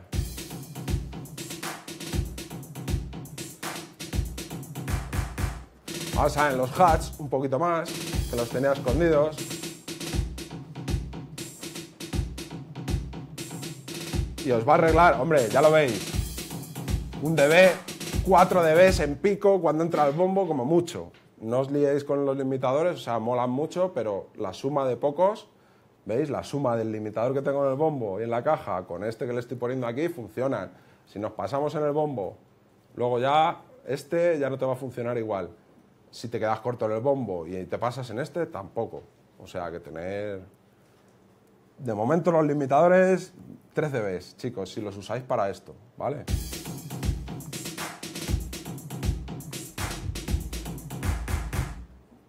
Nuestro bajo lo teníamos a menos 18. Yo le hice esta EQ. En mi estudio funcionaba. Aquí en mi, donde estoy yo sentado no, no me está sonando del todo. Pero en realidad lo que he hecho, veis, a nuestro bombo le puse un paso en 55, ¿os acordáis? Que tenía un paso en 55 y mirad dónde tiene este amigo nuestro en 40 hercios. Casi ni los perros. no, 40 hercios de hecho son muy importantes, sobre todo para los subgraves y demás, digo 40. Los hercios por debajo de 50 que ya la oreja empieza a dudar, son muy importantes sobre todo para la percepción. Si quitamos eso, eh, nos va a faltar un montón de cuerpo en nuestra mezcla pero tenemos que, llevarlo bien. Por eso le he quitado en el bombo y se lo estoy dando en el bajo un poquito. Nuestro bombo también nos acordamos que le habíamos dado en 60, ¿ok? Pues mirad aquí que nuestro bajo no lo necesitaba, sinceramente os lo digo. A ver cuál es mi filtro, el azul, jo. Hay un... Eh, con este lo limpiamos y todo. Y qué casualidad que es justo la frecuencia que tenemos enfatizada en el bombo. Casualidad, no, yo ya lo sabía, obviamente, pero, pero que tenéis que buscar eso. Si, sobre todo en estas frecuencias que son muy amplias. O sea, en los agudos, como veis en el espectro, de aquí de 20 a 50 hercios hay un espacio así, y aquí de 5.000 a 10.000 hay el mismo espacio. Con lo cual la frecuencia es mucho más pequeñita y los graves más grandes. Podemos jugar un poquito más y ubicarlos bien. Por eso yo siempre dejo el bombo y el bajo casi solos en esto. No suelo meter subgraves de pianos, ni de sintes, ni nada de eso. Se los suelo ventilar de 80 para abajo a casi todos, justo para dejar hueco en estas frecuencias para el bombo y el bajo. Y aún así, el bombo y el bajo, ya lo veis, que de 80 para abajo ya tienen uno por un lado, otro por otro, y están haciendo una especie de capa para que todos se lleven bien y que, y que se distingan entre ellos. Y para no tener que poner sidechains. Le he quitado medios. Eso depende un poco de lo que queráis. A mí me molaba más oscuro porque, como os he dicho, es casi una capa del, del bombo. ¿Vale? Y por eso le he quitado aquí, que es ese uno de los que salen cuando queráis más presencia en vuestro bajo. Depende del bajo, de 100, 150 por ahí. Vais a ganar esa presencia en el bajo, pero cuidado con el bombo, ¿vale? Que el bombo por ahí también tiene cosas que decir. Yo, de hecho, en el bombo mío tiene algo por 200 y es donde he aprovechado yo para quitarle. Y como mi color de bajo era este, súper oscuro y demás, no quería ese medio. Para dejar hueco a los sintes, amigos. Que también estamos contando ya de 200 para arriba, ya tenemos un montón de cosas. De hecho, nuestro tema donde debe de funcionar es entre los 200 y los 5000, como mucho. Si funciona entre los 200 y los 2000 hercios, si todo se lleva bien ahí, lo demás es gloria bendita. Ahí está el kit un poco de la cosa. Si hacéis que todos vuestros instrumentos funcionen entre 200 y 5000 entre ellos sin pegarse, tenéis una mezcla súper limpita y súper bien. Luego curraos los subgraves y, los, y, los, y el top end, obviamente, los agudos, ¿vale? Yo aquí se lo he quitado porque ni había frecuencias ni quería que las hubiera, ¿vale? Y tengo un, bombo, un bajo súper gordo que no define mucho la nota, pero no lo quiero. No quería que definiera mucho la nota. La define, se nota, obviamente. Para definir la nota, bueno, el enveloper que lo hemos visto antes, le he quitado un pelín ataque, con lo cual eso todavía define menos la nota, de- de- debería definirla menos. Pero luego le añadido un compresor, que lo que hace es que todo ese grave y demás me lo agarra bien. Y me va a definir un pelín más el ataque. Por eso se lo quita con el enveloper, porque nuestro compresor lo que va a hacer es enfatizar un pelín el ataque. Y ese ataque con el bombo, movida. ¿Ok? Aquí no me corto, ¿veis? 10 hercios, o sea, 10 dBs de compresión, pero porque necesito agarrar el bajo. ¿Veis los subs? Ahora están fofos, ahora... ah, De la otra manera se quedan, sobre todo en esta nota. Lo veis que aquí ya empieza a temblar la cosa un poco. Vamos a ver cuando baje esa nota, cómo suena bastante más agarrado. Es para eso para lo que se usa el compresor en los bajos, amigos, no para darle, bueno, también, si queréis darle, ¿veis? Ya no vibra ni hace la nota de abajo del todo, porque estamos agarrándola bien. Aquí no vale con 2 dBs ni 5 dBs. Hay muchas veces que lo que os digo, las frecuencias son muy amplias y tenéis que, ap- que aplastarlo bien para tenerlo controlado. Si no, ¿qué os va a pasar? Lo que os pasa muchas veces, nos pasa muchas veces, que es que de repente una nota suena muy alta y otra nota suena muy bajita, o, ¿sabes? Si un La que tiene componentes de agudos más que el, que el Do, por ejemplo, eh, obviamente una la vas a percibir más que otra. Pues con un compresor lo que intentas es igualar un poco que todas las notas estén bien, de dinámica, y con la ecudinámica, amigos, herramienta nueva teóricamente, eso es lo que debéis hacer ecudinámica, compresor multibanda, ¿vale? Es lo mismo. ¿Qué pasa? Un compresor multibanda antiguo tenía cuatro bandas. Una ecudinámica nueva, tenéis 20 bandas. Y con una Q así. Que eso mola. Dices, joder, es que cada, por ejemplo, en el bajo, la nota, el re menor, me sale 3 dB por encima porque está en esta frecuencia en vez de estar como la otra y tal, y lo oigo más alto. Bueno, pues en esta frecuencia, cada vez que salga esa nota, le pones un threshold y cada vez que pase de ese threshold, la comprimo. Ecudinámica, compresión multibanda, como lo queráis llamar. Para eso, guay, para las voces, guays. Instrumentos que no son todo el rato igual. Si tenéis un, un bombo, obviamente, ¿para qué? Cada golpe van a ser iguales, uno y el otro. Pero en la voz y en cosas así, en los bajos sobre todo, que varías de envolventes y cosas así, tienes que controlarlos y que no pasen de cierto nivel o que no bajen de cierto nivel tampoco. ¿Ok? Ecudinámica y compresores. Controlado.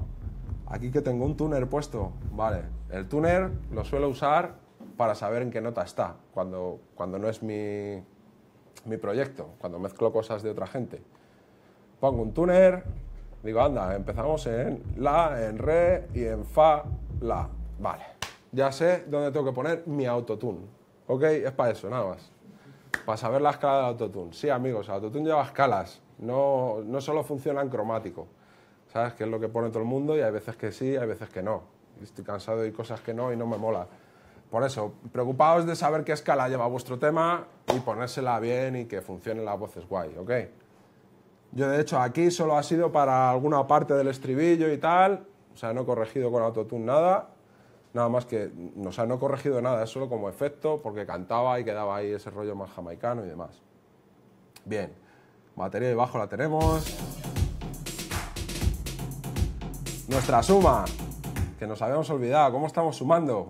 Pues mirad, con todos los elementos de la batería, con nuestro bajo y con todo, hemos ganado un dB en la suma del estéreo. Cojonudo. Quiero decir, eso es lo difícil. El que tú vayas añadiendo instrumentos y que tu suma no se, no se cite demasiado ni se te vaya. Eso lo que quiere decir es que todas las frecuencias tienen su espacio y su sitio. Y al sonar todas a la vez, no, no se suman unas con otras, las del bombo con tal y, y demás. Estupendo. Qué mezclón. Pues chicos, yo, por lo menos en mi, en mi estilo, cuando tenéis esto bien conseguido, que es batería y bajo, lo demás es coser y cantar, amigos. Dependiendo un poco de los instrumentos, pero sinceramente, eh, vale más invertir un poquito más de tiempo en esto y lo, que en lo otro.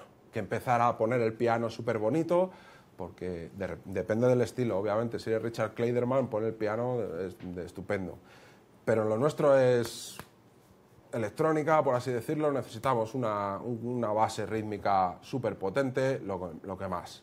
Y sobre eso se sustenta todo el tema luego.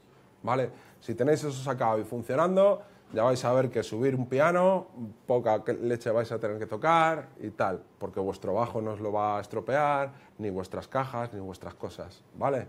Vamos con las cuerdas, por ejemplo. Ah. Había oído algo. Esta. Creo que estas son de Nexus. Uso Nexus, me lo compré hace unos años y me va guay. Es un Rompler, para el que no lo sepa, en realidad un poco no es un sinte del que te vuelvas loco, simplemente cargas tu preset, tocas los dos parámetros o tres que tiene y ya está. Pero eso sí, los presets que trae son muy buenos. Y hay veces que para echar mano rápidamente, estupendo. Nexus. Mirad, solo llevan una EQ, las cuerdas. Yo le quería sacar, vamos a darle un poquito, es que estoy aquí a tope, vamos a darle un poquito de volumen, aunque sea de fader, y se vaya nuestra mezcla fuera. Esas cuerdas son de, Nexus, iba a decir de Logic, esas son de Nexus, de, además de que tú haces un acorde y él te hace todo el ensemble, no es que pongas un contra, un... nada, ensemble, ¡pam! ¿Qué, tenemos que, ¿Qué quería yo sacar con las cuerdas? Añadirle un poco de contenido grave, pero obviamente mi subgrave ya lo tenía copado con el bombo y el bajo. Este es mi contenido de grave de las cuerdas, que en realidad justo en las cuerdas esta lo que saca es un poco el arco y la madera, ese, mm, mm, ese rollo que, que- que identifica la nota sobre todo y que identifica que son cuerdas, que no es un pad. ¿Vale? Justo eso, es lo que va a diferenciar un pad de cuerdas de unas cuerdas un poco de verdad. Ese arco y ese rasgado. ¿Qué es esta frecuencia?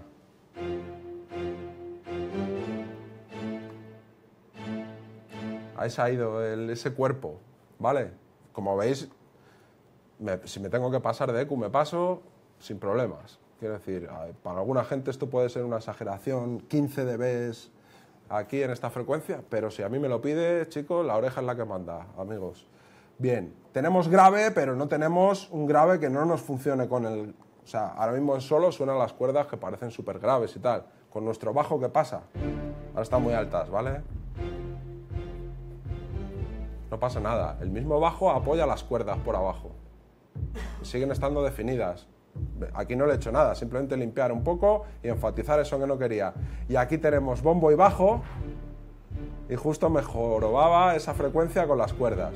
Por aquí no me le he cortado un poco estos cienes y tal, pero por aquí era donde tenía yo el máximo problema porque coincidían los tres, las cuerdas, el bombo y el bajo. ¿Ok? Aquí no. Aquí le corté al bajo, creo recordar, y por eso ahí le he ganado y, tiene su espacio la cuerda. En general es un poco así con todo. A ver el piano.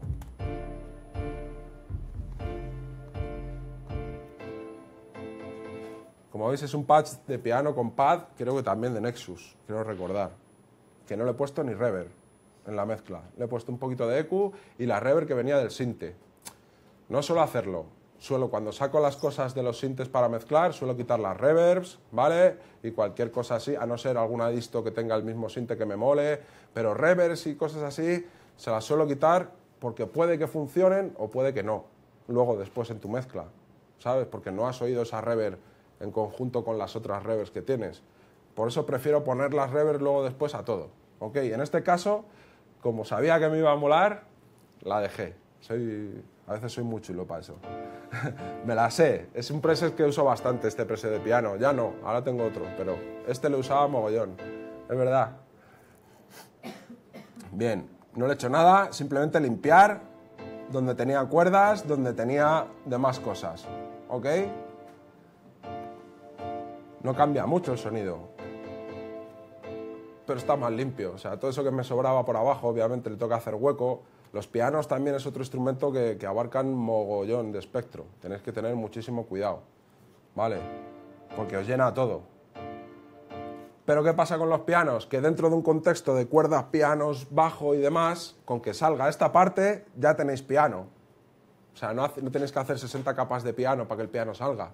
En realidad, si sale esta parte del piano, ya oís un piano. Vamos a hacer una muestra. Un piano chungo, obviamente. Pero, quiero decir, ahí tenemos piano todavía. Si quitamos eso, no tenemos piano. En el contexto de lo otro. ¿Veis? Ahí todavía oís el...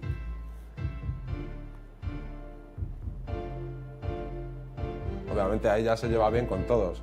He hecho esto para que veáis que tampoco os paséis a la hora de cortar, ¿vale? O sea, el ejemplo que os he dado del bombo lo quito en 200, el bajo se lo doy en 200, con mesura y midiendo. Porque si os pasáis de cortar, incurrís en lo contrario, que es que se, te os, que se os queden los instrumentos súper separados y, finitos, pequeñitos, sin, sin energía.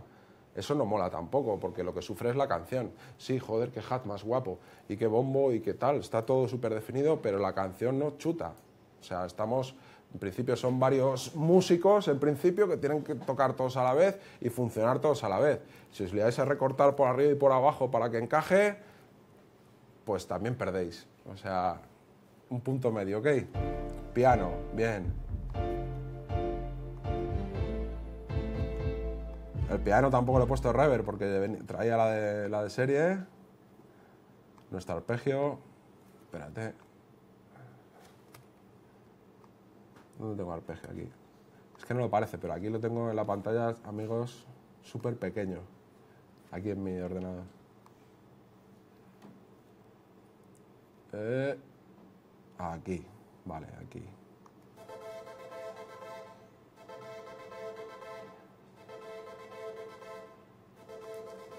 Aquí sí me cuidé de la reverb y se la dejé para ponérsela luego después, ¿vale? Porque este instrumento sí que hay que tener cuidado, pues ya lo veis que tiene bastante energía y demás, y en realidad lo, único que hay que hacer es dejarlo bajito. Ese es el truco que tiene este tipo de arpegiadores. Con el resto de instrumentos, porque como veis sale mucho, o sea, es una frecuencia que sale mucho. Si lo ponéis muy para arriba, os tapa voces, cajas, de todo, todo fuera. En realidad es casi como un pad, pero con un gate. Para que no esté todo el rato. Le va a dar groove. Es un pad con groove.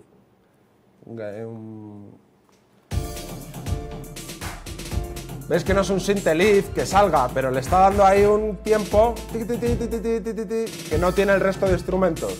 Le voy a subir un poquillo. Vaya. En eso soy especialista. Cada vez que toco algo, desaparece de la canción.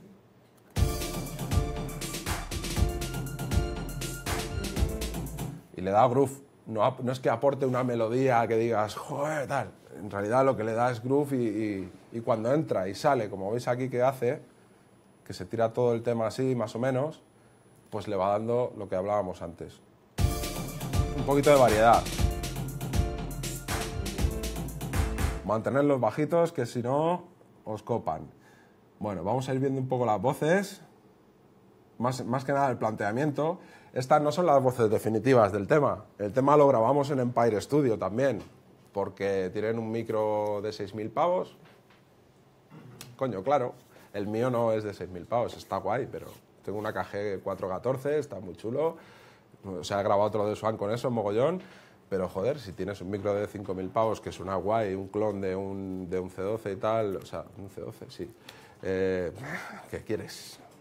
O sea, si suenan las voces del disco, estupendas. Claro, tío. Con ese micro, un previo NIF de verdad analógico y el compresor Tubetec, esa cadena de voces, ya tiene que ser malo el cantante para sonar mal, ¿sabes? Ya tiene que ser malo, malo. Bueno, las voces. Mirad, tengo un montón de grupos. Esta sería la principal. Vamos a irnos a la principal. Y ver un poquito el esquema. La principal, como veis, solo tengo aquí un poquito de cosa. Va todo dividido en cachitos, estribillos. Obviamente esto es la misma, lo que pasa es que se ha grabado una frase o hemos pinchado, ¿vale? Hemos ido pinchando y demás. La gente que le tiene miedo al pinchado y demás a la hora de grabar, pues chicos, todo guay. Eh, si lo sacáis de una toma y funciona, nada que decir. Pero estoy casi seguro de que en tres tomas y calentando y haciendo las cosas bien vais a sacar una mejor toma global. ¿Ok? Porque en cada una siempre va a haber un mínimo fallo, no sé qué. Os digo lo de siempre, si la primera os chuta, la primera funciona, guardad César, aunque no la uséis. Pero eso es lo que vais a querer conseguir una vez que estáis repitiendo. Digo a los cantantes, ¿vale? Lo que vais a conseguir, lo que vais a querer es esa frescura de esa primera toma que al principio molaba, pero hay una frase que os ha ido un, poquito de una, una notita o algo. hay veces que es mejor que se vaya esa notita si la, la actitud del tipo está guay y demás, para eso está Melodyne, Autotunes y demás. Pero estás conservando una toma cojonuda que difícilmente la va a repetir, por muchas veces que lo haga. De hecho, cuantas más veces lo haga, peor, seguramente. Depende del artista, ¿ok? Bien, compilación en las principales, estribillos. Luego, dentro de las estrofas tengo First Low, que es, vamos a ir poniéndolas en solo. Ya os digo que no es la, esta es la que grabamos en mi estudio, no es la del micro de 5000, ¿eh? 6000.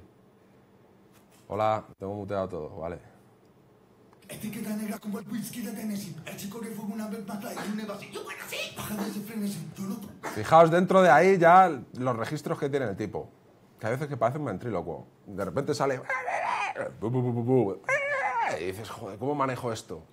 Pues sobre todo lo maneja él muy bien, que para eso hay que saber hacerlo, lo primero. Por muy buen ingeniero que seas, si un tipo no sabe cantar, estás jodido. No vas a sacar una voz decente, ¿sabes? Eso es así. Entonces, el principal mérito lo tiene él, obviamente, y luego tú tienes que saber manejar eso también. Hay veces que le tienes que decir, uff, esto que el contraste queda demasiado escandaloso, parece otro tema, no sé, pues trabajas un poco hasta que todo funciona. Pero al final, él, igual que yo con el ritmo, lo que busca es también variar y que la gente no se aburra escuchando el tema. ¿Qué consigues? Que, que te comen los tres minutos del tema. Así te los comes y dices, ya se ha acabado, en serio. Y eso es un poco lo que queríamos conseguir con todos los temas. Y lo que quiero conseguir siempre que produzco algo, vamos. Otros lows que tengo y los tengo separados en otro grupo. A ver si desmuteo el grupo de los.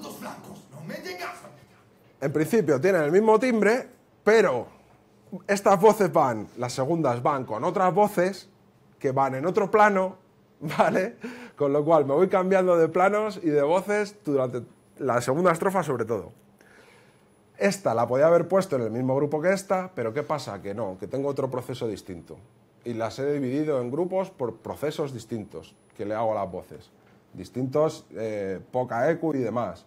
Graves, es que ya veréis esto. Voy a quitar estas. Etiqueta negra como el whisky de Tennessee. El chico que fue una vez. Parece otra persona. O sea, parece otro cantante. Con lo cual tienes que tratarlo casi como otro cantante. Con la complicación de que es el mismo cantante. Quiero decir que no puede sonar como otro cantante. Tiene que sonar el Swan cantando grave. Y claro, otra pista, otro proceso y que se lleve bien con lo que viene cantando. Tampoco puede ser un cambio súper radical. Quiero decir, la canción tiene que tener una linealidad y que luego en directo se la pueda defender también. Que es, es lo menos importante, pero también es importante. Que si no, de repente en directo dices, joder, es que cuando llego a esta parte es imposible. Físicamente la garganta no te da ya para cambiar tanto. Con lo cual hay que mantener un nivel dentro de las variaciones, igual que con las bases. Otros dobles distintos, con otro proceso, con otro grupo. Y luego los ads que van sueltos. Bien, vamos a ver un poco lo que le hago a las principales, en lo que nos queda, para que veáis un poco el proceso. Este no es el proceso que hicimos, obviamente. Ya os digo que grabamos en otras condiciones que funcionaban bastante mejor. Heavy como pan del día que espero. Poco veis, no soñáis ni en vida. No voy a entrenar ni en liga ni bares. Lírica ni... Como veis, luego tengo estos dos puntos que están en otra pista donde tienen una EQ, rollo telefónica, teléfono y demás, para darle a esa frase un poquito de tal, aunque esté en el mismo grupo, ¿vale? Como veis, esta está súper filtradilla. El Midbone ready. Tampoco veis, no soñáis ni en vida. No voy a entrenar ni en liga. Y le vas añadiendo, pues igual que con la Produ. Si tú dejas toda la voz todo el rato, pa, pa, pa, los ocho compases, si vuelve otra vez con pa, pa, pa, pa, pa, haces chao. Da igual lo que haya sido la base, da igual lo que sea. Quiero decir, la voz también tiene que ir como, como la base. Y suelo hacerle esto, más o menos. En este caso, en mi emulador de mesa, en este caso uso NIF, para las voces me da un cuerpo muy guay, un paso alto a 90 y pico, un poquito de recorte y un poquito de brillo. Ya veis la EQ de las voces, amigos. No tiene nada más, nada más. Le voy a quitar un poco- te. Si le quito los procesos ya es cuando dices, hostias, ¿qué ha pasado? Agotado, chico, ve y pon pilas del compus, igual, mina, ¿Veis pide ese grave que tenemos ahí sobradísimo ahora? Eso es un fallo, fallo mío, ¿vale? Quiero decir, por eso, nos, por eso no salió esta voz, no. Si la tuviéramos que haber hecho en mi estudio, lo hubiéramos grabado bien. Pero en ese momento, a lo mejor, quiero recordar que fue que se acababa de escribir a lo mejor las frases de, venga, me va a grabar esto y no sé qué y tal. ¿Qué está pasando ahí? Efecto de proximidad, amigos, con el micrófono. Ese es mi fallo. Que no he mantenido yo la distancia.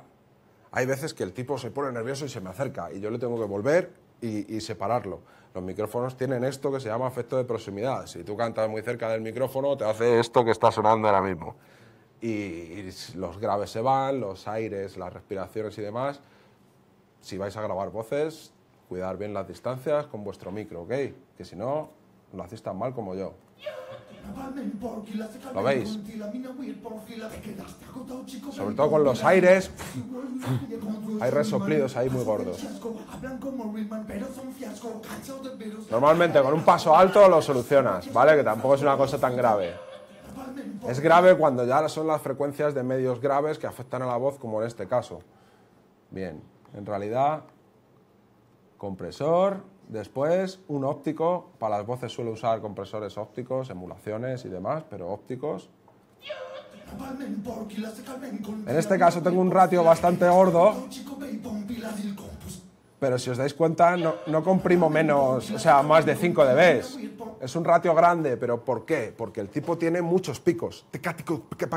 Va súper rápido y va muchos picos. Y necesito agarrarlos bien. Que no se me dispare uno u otro y demás. De hecho, antes de mezclar, lo que tenéis que hacer es editar las voces. ¿Vale? Se me ha olvidado decirlo y es muy importante. Editar las voces. Quiero decir, tenéis vuestra pista de voz, hay dos sílabas que, que se le ha ido o de repente ha mirado para otro lado. Más bajitas, corto, levanto. Respiración súper alta, corto, aplasto. Aquí esta sílaba, esta frase está más baja que el resto, corto, levanto o bajo o tal, igual o de ganancias, quiero decir. Y las respiraciones las corto, no las quito, las corto y las bajo muchísimo, que apenas se noten. ¿Por qué? Porque le estamos facili- facilitando el trabajo al compresor. O sea, le estamos diciendo al compresor, toma, trabaja poquito y bien.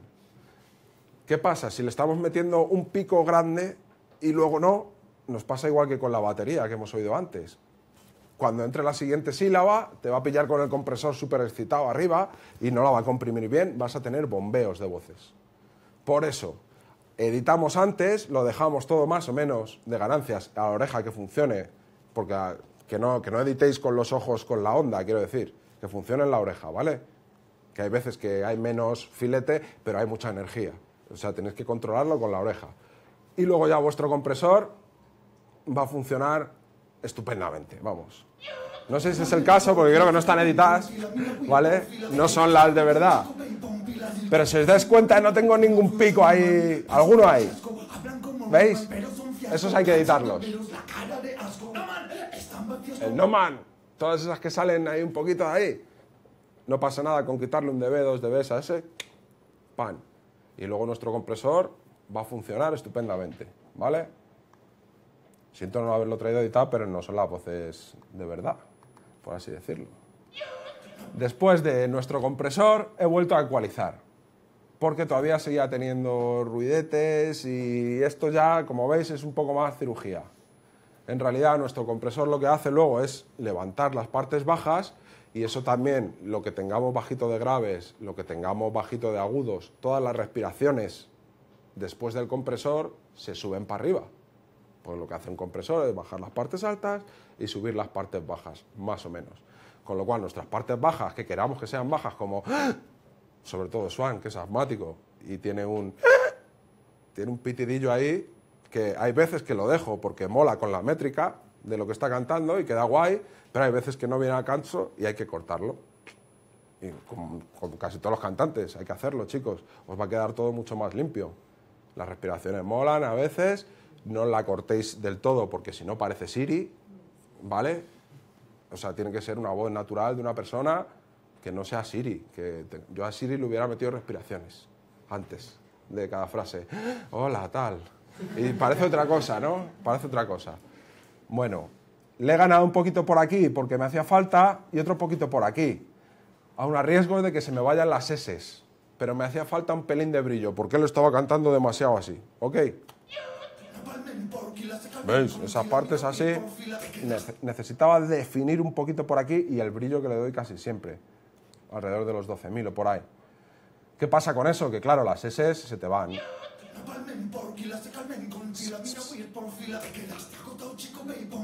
La de chico y todas esas. Swan no es, no tengo mucho problema con las S con él, no es un artista que dé muchas S y demás. Eh, la gente que canta en inglés, mogollón. Y los que tienen acento americano, más y los ingleses en otras pecan, pero el inglés es jodidísimo para las S. Suelo usar un dieser, uso este de y, e, e, no quiero decir en inglés, eiosis, es en español, por así decirlo, como se lee, eiosis, ¿ok? Eh, para mí es de los mejores DS que se han hecho, no quiero tampoco dar publicidad ni nada, pero es que es justo eso. De hecho, se ha llevado el premio al mejor plugin y demás. No mejor plugin de Diesel, al mejor plugin. Punto. ¿Vale? Oye, oh, Y la verdad que lo que hace, lo hace... Como veis, ¿qué es esto? Compresión multibanda. Con una banda solo. ¿Ok? Cada vez que pasa la S que está en esta frecuencia de cierto nivel, yo se la agarro para que no pase.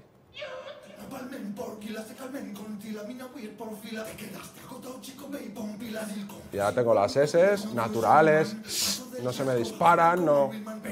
Otra cosa igual, si os pasáis, lo dejáis como Rajoy, ¿me entiendes? No puede ser.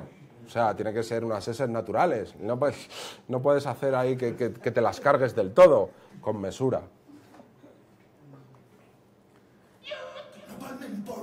Y yo en este caso no lo suelo usar mucho, o sea, para mis mezclas hay veces que sí, sobre todo cuando tengo muchos picos que no he editado o que de repente me han traído una voz mal o cualquier cosa, este compresor de voces a mí me fascina de hace años.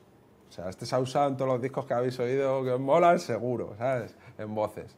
Y es el R-Box de Waves que tiene 10 o 12 años este plugin pero veréis sobre todo la dinámica. Ahora tenemos picos que hemos oído de pa. El compresor primero no conseguía, como hemos visto la aguja, no conseguía dejarlos todos bien matizados. Pues con este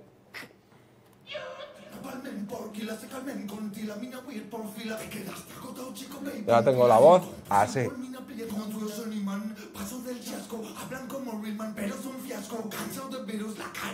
Hay cosas que hay que editar, ¿vale? Pero como un choricillo, súper controlado, no se disparan sílabas. En definitiva, eso es lo que, lo que funciona un compresor, para controlar, ¿vale? Estamos usando tres compresores en la voz. El primero, que era para darle un poco de pegamento y amalgama a todas las frecuencias. El segundo, que es el compresor multibanda de las S. Y el tercero, que es un poco ya el de vamos a apretarlas bien, a tenerlas controladas para poder sacar volumen, ¿ok? Y de momento po- tampoco le hicimos muchas cosas más a las voces. Quiero recordar que, que teníamos algún, alguna voz enviada a una Reverb SPX que hacía... No, eh, al final lo hicimos con el plugin. Un plugin de Harmonizer que lo que hace es generar armónicos al- a los dos lados. O sea, genera como, como el dobler de waves y estas cosas que te generan como otras voces y tal, pues mezclado en cierta medida funciona guay. Porque genera la misma voz, la copia, pero le pone algo de pitch para arriba y para abajo, para que no sea la misma información. Con lo cual lo que haces es echarte la voz. Voy a, mirar porque incluso a lo mejor aquí lo tengo hecho de alguna manera. Voy a ver qué bus es este. Tape delay. ¿Qué es esto? Este es. Este es mi slap back delay, que es el efecto que se, que se conoce. Elvis, toda esta gente usaban esta mierda, o sea, no es de ahora nuevo ni nada, ¿vale? En el rap de los 90, mogollón. Y consta, como veis, delay time, 67 milisegundos de delay. Una mierda, nada, cortísimo. Ok, el, el feedback, 3%. Dices, ¿pero qué haces con eso? Pues lo que haces con eso es que como esto es un delay estéreo, es que salgan por los lados el delay y tu voz ensancha. Se hace por envío, no por inserto, ¿ok? Por esto mismo, veréis.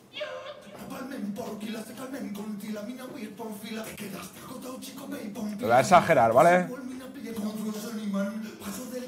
Esto es exagerado lo que hace ese efecto. En realidad son dos voces, o tres, una, dos y la del centro. Pues con mesura lo que hace es ensanchar, con mesura. Si os pasáis parece que está en no sé qué pasillo de qué hospital.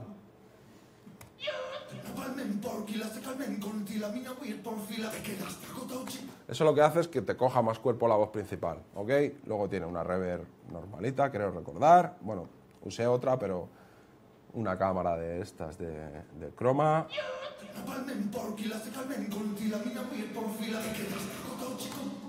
Un segundo y medio, la he exagerado para que lo veáis. Un segundo y medio, un poco de pre-delay.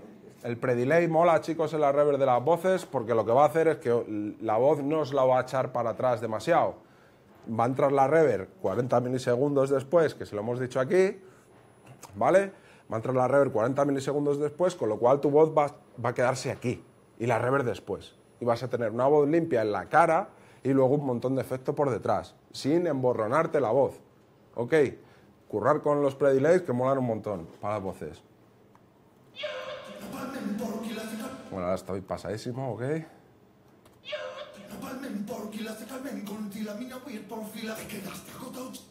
¿Qué he hecho? Simplemente está colocado en una habitación. En realidad, lo único que he hecho con la reverb es colocarlo en la habitación del resto de instrumentos, veréis.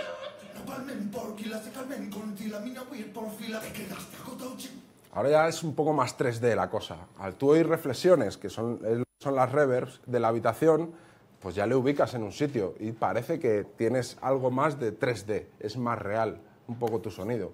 Si te pasas con la reverb, adiós. Y luego tengo enviado a un delay.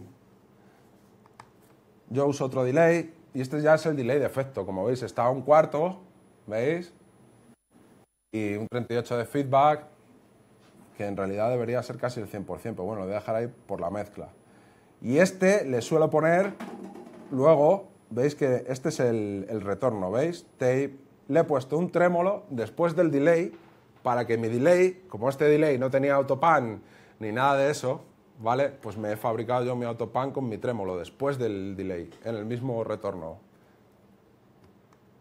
Y luego se lo he enviado a la reverb, ese delay. Y el trémolo se lo he enviado a la misma reverb que la voz. ¿Por qué? Si no hacéis esto, lo que va a pasar es que tú envías tu voz a la reverb y tu voz al delay. Pero ese delay no tiene reverb y tu voz sí. Con lo cual, tu voz principal va a tener reverb y tus delays no. Van a parecer que están más para adelante y te van a emborronar la voz principal. Si tú a esos delays le das la misma reverb que la voz principal, pero un poco más de cantidad, los colocas para atrás y vas a seguir teniendo delay, pero el efecto va a ser que cuando se calle este señor vas a oír el delay pero cuando esté este hablando va a tapar a los delays, no al revés. Si no tenemos la reverb, es muy posible que tu delay te emborrone las frases y demás. La tenemos detrás. Cuando se calle este es cuando vamos a oír el delay. Vamos a oírlo bien, veréis. Voy a subirlo, ¿vale?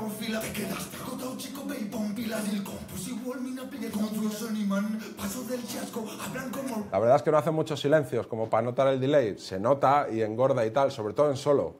Si lo quito, o sea, si lo... Quito el solo, quiero decir... No, no vais a oír un delay de la leche. Se va a notar solo cuando se calle o cuando tengáis espacio en la mezcla, pero no tiene que salir el delay, a no ser que queráis. Para que salga el delay, esos delays que molan de repente, de efecto y tal, automatizad, chicos automatizada, es decir, esta frase es la que quiero que se repita. ¡Pam! Envío y, vuelvo a recoger. Este delay es para crear atmósfera, no, no como un efecto de delay para que se oiga el delay, sino para crear una voz grande. Ahí no oís el delay. Sin embargo, cuando dice lo de Little Jude, que se calla un poquito, veréis ahora cómo se oye. Vale, justo, justo es ahí en no puede ser, es aquí.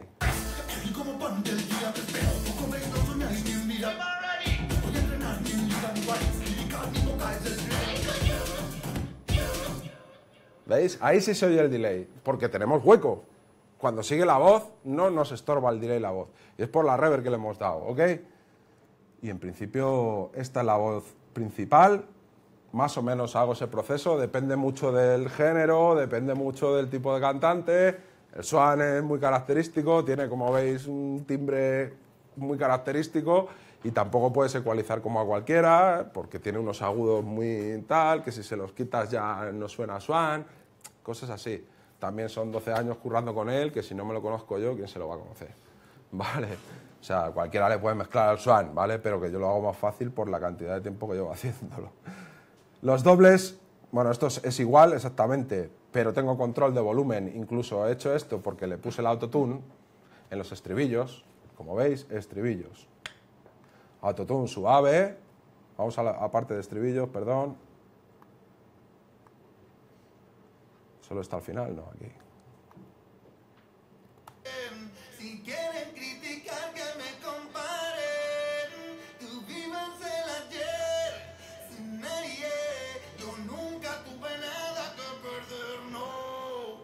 Tampoco es una cosa exagerada, solo cuando hace los uh, y esas cosas es cuando se nota el autotune, que es un poco para darle ese, perdón, ese toque al estribillo. No es una cosa, o sea, si se lo quito no está desafinado, Swan, ¿vale? Es lo mismo.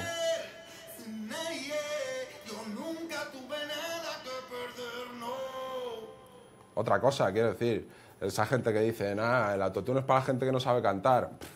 El autotune a la gente que no sabe cantar le queda como el culo. Si tú sabes cantar y te pones autotune, te queda bien. Si no, te queda mal. Es que no hay más.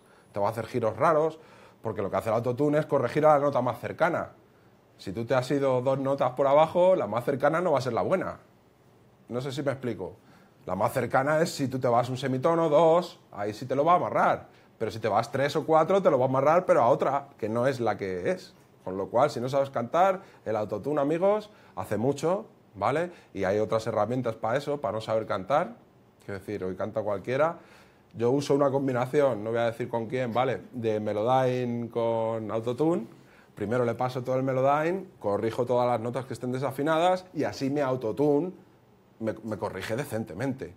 No me corrige donde, donde puede, ¿vale?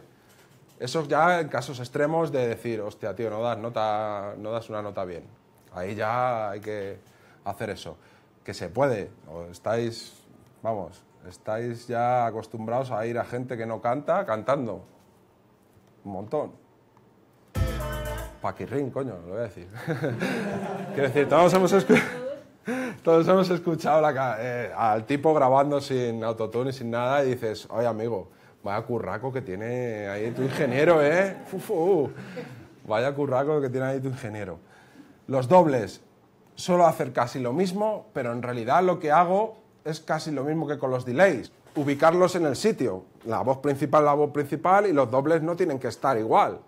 Tienen que estar un poquito más para atrás y si puede ser paneados, para que la voz principal tenga hueco. Eso de doblar cuatro veces, la- dos veces la principal, me da igual, dos que cuatro. Si dobla la principal dos veces, o te toca editar y colocar todas las sílabas, o el tipo tiene que ser muy bueno. Muy bueno, muy bueno, muy bueno de clavarlas. Si no, lo que te va a hacer es emborronarte tu voz principal. Es preferible grabar cuatro tomas más hasta que la toma de la voz principal sea la buena, que no decir, bueno, luego con unos dobles esto ya coge... No, si eso está mal, con unos dobles va a estar peor. ¿Ok? Parece que sí, que coge más energía. En realidad lo que pasa es que no se escucha el fallo tanto. ¿Vale? Lo que tenéis que hacer es una buena toma principal, que si oís música, pop, general, de éxitos, los cantantes de ahora, la voz principal. Un montón de arreglitos por los lados, yeah, uh, tal, no sé qué, lo que queráis. Pero la voz principal es una y la mejor toma posible, pues mejor. Obviamente. También hay gustos, ¿ok? Eso ya, si te gusta tener cuatro voces ahí porque te suena tu voz mejor, allá tú. Yo no os recomiendo. Y en general eso, los dobles un poquito colocados en el sitio, intentad meter algún efectillo en la voz cuando produzcáis vuestras voces, como esos que he hecho yo de una frase con radio, no sé qué. Aquí corto la base para que salga, o sea, que, que la voz y la base estén un poco, que funcionen, que, se- que parezca que la habéis hecho los dos juntos, ¿vale? Que no te la he comprado por internet o se la ha bajado de YouTube. Que hay muchas veces que dices, joder, la base está haciendo una cosa, el tipo hace unas cosas muy guapas como para enfatizar con el bombo, ahora le corto, ahora no sé qué, yo escucho mogollón y eso no pasa. Y eso es justo lo que termina de redondear el tema y de, que suene a canción, no de que suene a base con un tipo cantando por encima. Ok, estamos on time, ¿no, amigos? Bueno, pues muchas gracias a todos, no da para no pa más la cosa, pero.